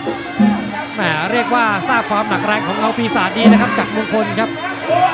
ไม่ปะทะซึ่งหน้าครับอาศัยลูกฉาบฉวยครับค่อยๆเก็บค่อยๆกินไปเรื่อยๆครับเลือดใครครับ เลือดใครครับผู้ชายโอ้โหดูครับแม่ชักจะไหลเยอะเกินเอาแล้วครับแม่แต่ว่าต่อยได้เสียวเอ้าโดนลำตัว เริ่มจะหนีไม่ออกครับเดี๋ยวว่าต่อยลำตัวให้ขาตายก่อนครับแล้วก็ต่อยหน้า มาตามสูตรเลยโอ้นี่ครับหมัดซ้ายครับ โอ้ดักครับแม่ โอ้โหหนีไม่ออกก็โดนเลยครับโอ้เรียกว่าใช้โอกาสไม่เปลืองครับกรรมการภูกิจครับนับถึง 6 7 แล้วครับ โอ้อาวุธดีแล้วก็การวางแผนดีครับแต่ว่าหนีไม่ออกนี่ก็โดนครับเอ้ากลายเป็นมวยโดนนับในเข่าลอยไปก่อนแล้ว โอ้โหนับเมื่อสักครู่มาแลกด้วยเลือดเลยครับ เส้นด้วยเลือดเลยครับเงาปีศาจวงในยังไม่ตีแยกมา แยกมาเอาลุยใหม่ครับ ทางบ้านอย่ากระพริบตานะครับ ทางบ้านตอนนี้ห้ามกระพริบตาแล้วนะครับ เข้าห้องน้ำก็อย่าพึ่งนะครับ เดี๋ยวดูก่อนครับหมัดซ้ายมา หมัดซ้ายมาแล้วหมัดลำตัวเงาปีศาจสิบล้อเบรกอยู่ไม่อยู่เบรกอยู่ไม่อยู่ ต่อยไม่ต่อยหมัดซ้ายมา โอ้โหแล้วดูครับเงาปีศาจรัวเลยครับโอ้โหจัดลงไปไปอีกหนึ่งนับครับโอ้จักมงคลโดนอีกหนึ่งนับครับเงาปีศาจนี่ฉายาของยอดสนาน 3K แบตเตอรี่นะครับ เอามาตั้งเป็นชื่อของเงาปีศาจจะจบเลยไหมครับอีกหนึ่งนับนี่ก็ปิดเกมครับเทคนิคเข้าเอายังเดินอยู่ครับโอ้โหแต่ว่าศอกยังแรงอยู่นะครับแม่จริงๆนี่เรียวแรงยังเหลือเยอะเอาเมาเมาแม่พิกหรือเปล่ารัวหมัดมาโอ้โหดูครับเอาเมาครับตอนนี้เงาวิสาจเซสิบล้อสิบล้อเมาแล้วครับสิบล้อโอ้ยสิบล้อเมาครับหล่นไหมครับโอ้โหดูครับโอ้ยแม่ ยังให้โอกาสอยู่ครับกรรมการภูกิจแล้วหมดโหมันจริงๆครับเดี๋ยวเราพักคู่เดียวครับเดี๋ยวกลับมาตีละครั้งทำไมตีละครั้งทำไม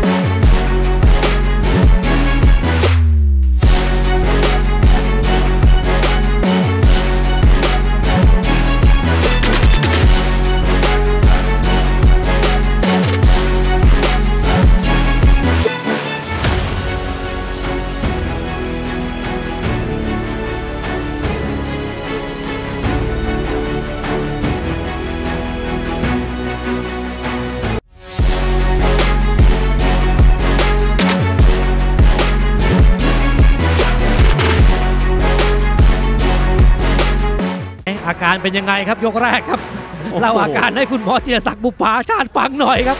ยังไม่ขึ้นมานะ จังหวะนี้หมัดซ้ายครับเงาปีศาจมาร่วงสิกุยชายโอ้โหนี่ครับทุกซ้ายนี่ไปก่อนนะครับ ด้านเงาปีศาจแต่เก็บกดนะครับผมว่าครับต่อยมวยรอบเนี่ยเจอแต่เสือสิงห์กระทิงแรดครับงวดนี้นี่ก็อัดไปอีกหนึ่งนับครับโอ้โหทำท่าไม่รอดนะครับจากมงคลแล้วก็นี่ฮะไม่ต้องโดน 40 ครับ 10 ล้อก็เมาได้ครับนี่ครับโอ้เจอหมัดรุ่นๆนี่นะครับโอ้แล้วดูจังหวะสุดท้ายแม่จากมงคลเนี่ย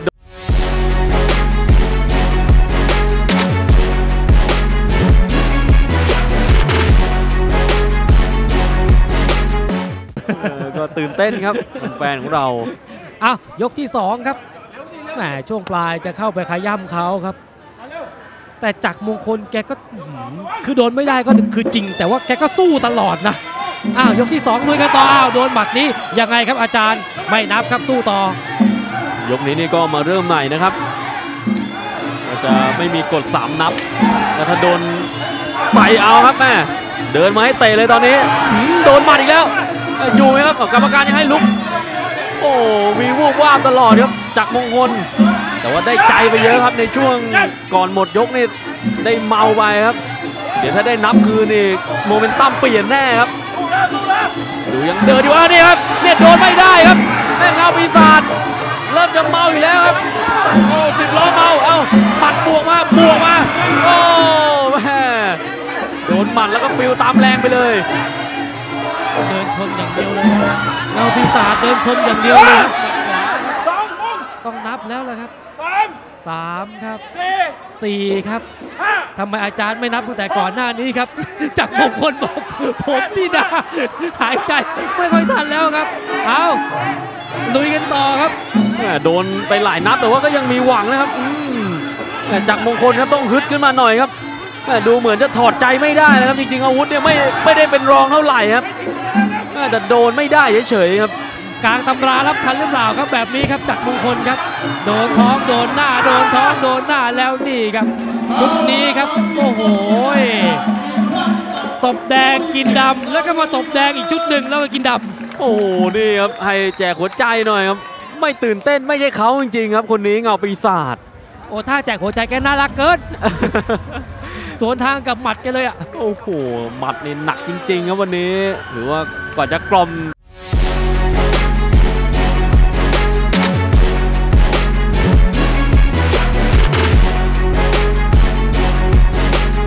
หลายหมัดอยู่เหมือนกันนะครับโอ้แล้วดูเนี่ยโดนไปก่อนนี่ขาปัดครับ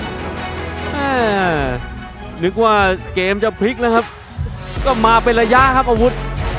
แต่ว่าหลังจากที่เงาวิสาตั้งหลักได้ครับจ้วงหมัดเลยครับ เอาคืน ดูจังหวะวินาทีทองนี่ก็ไม่ปล่อยโอกาสครับนี่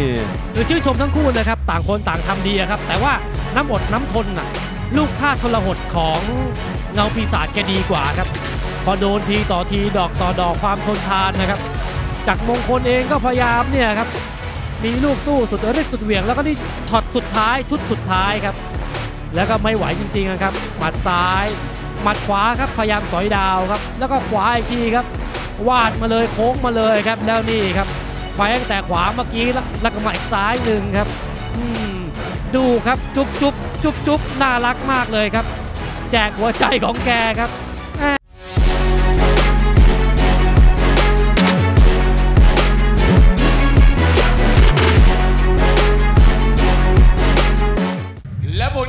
สินนะครับ the winner by technical knockout white corner เงาปีศาจ from นครราชสีมา ก็เป็นไอ้สิบล้อเบรกแตกนะครับ อย่างเงาปีศาจที่พุ่งชนชัยชนะได้สำเร็จ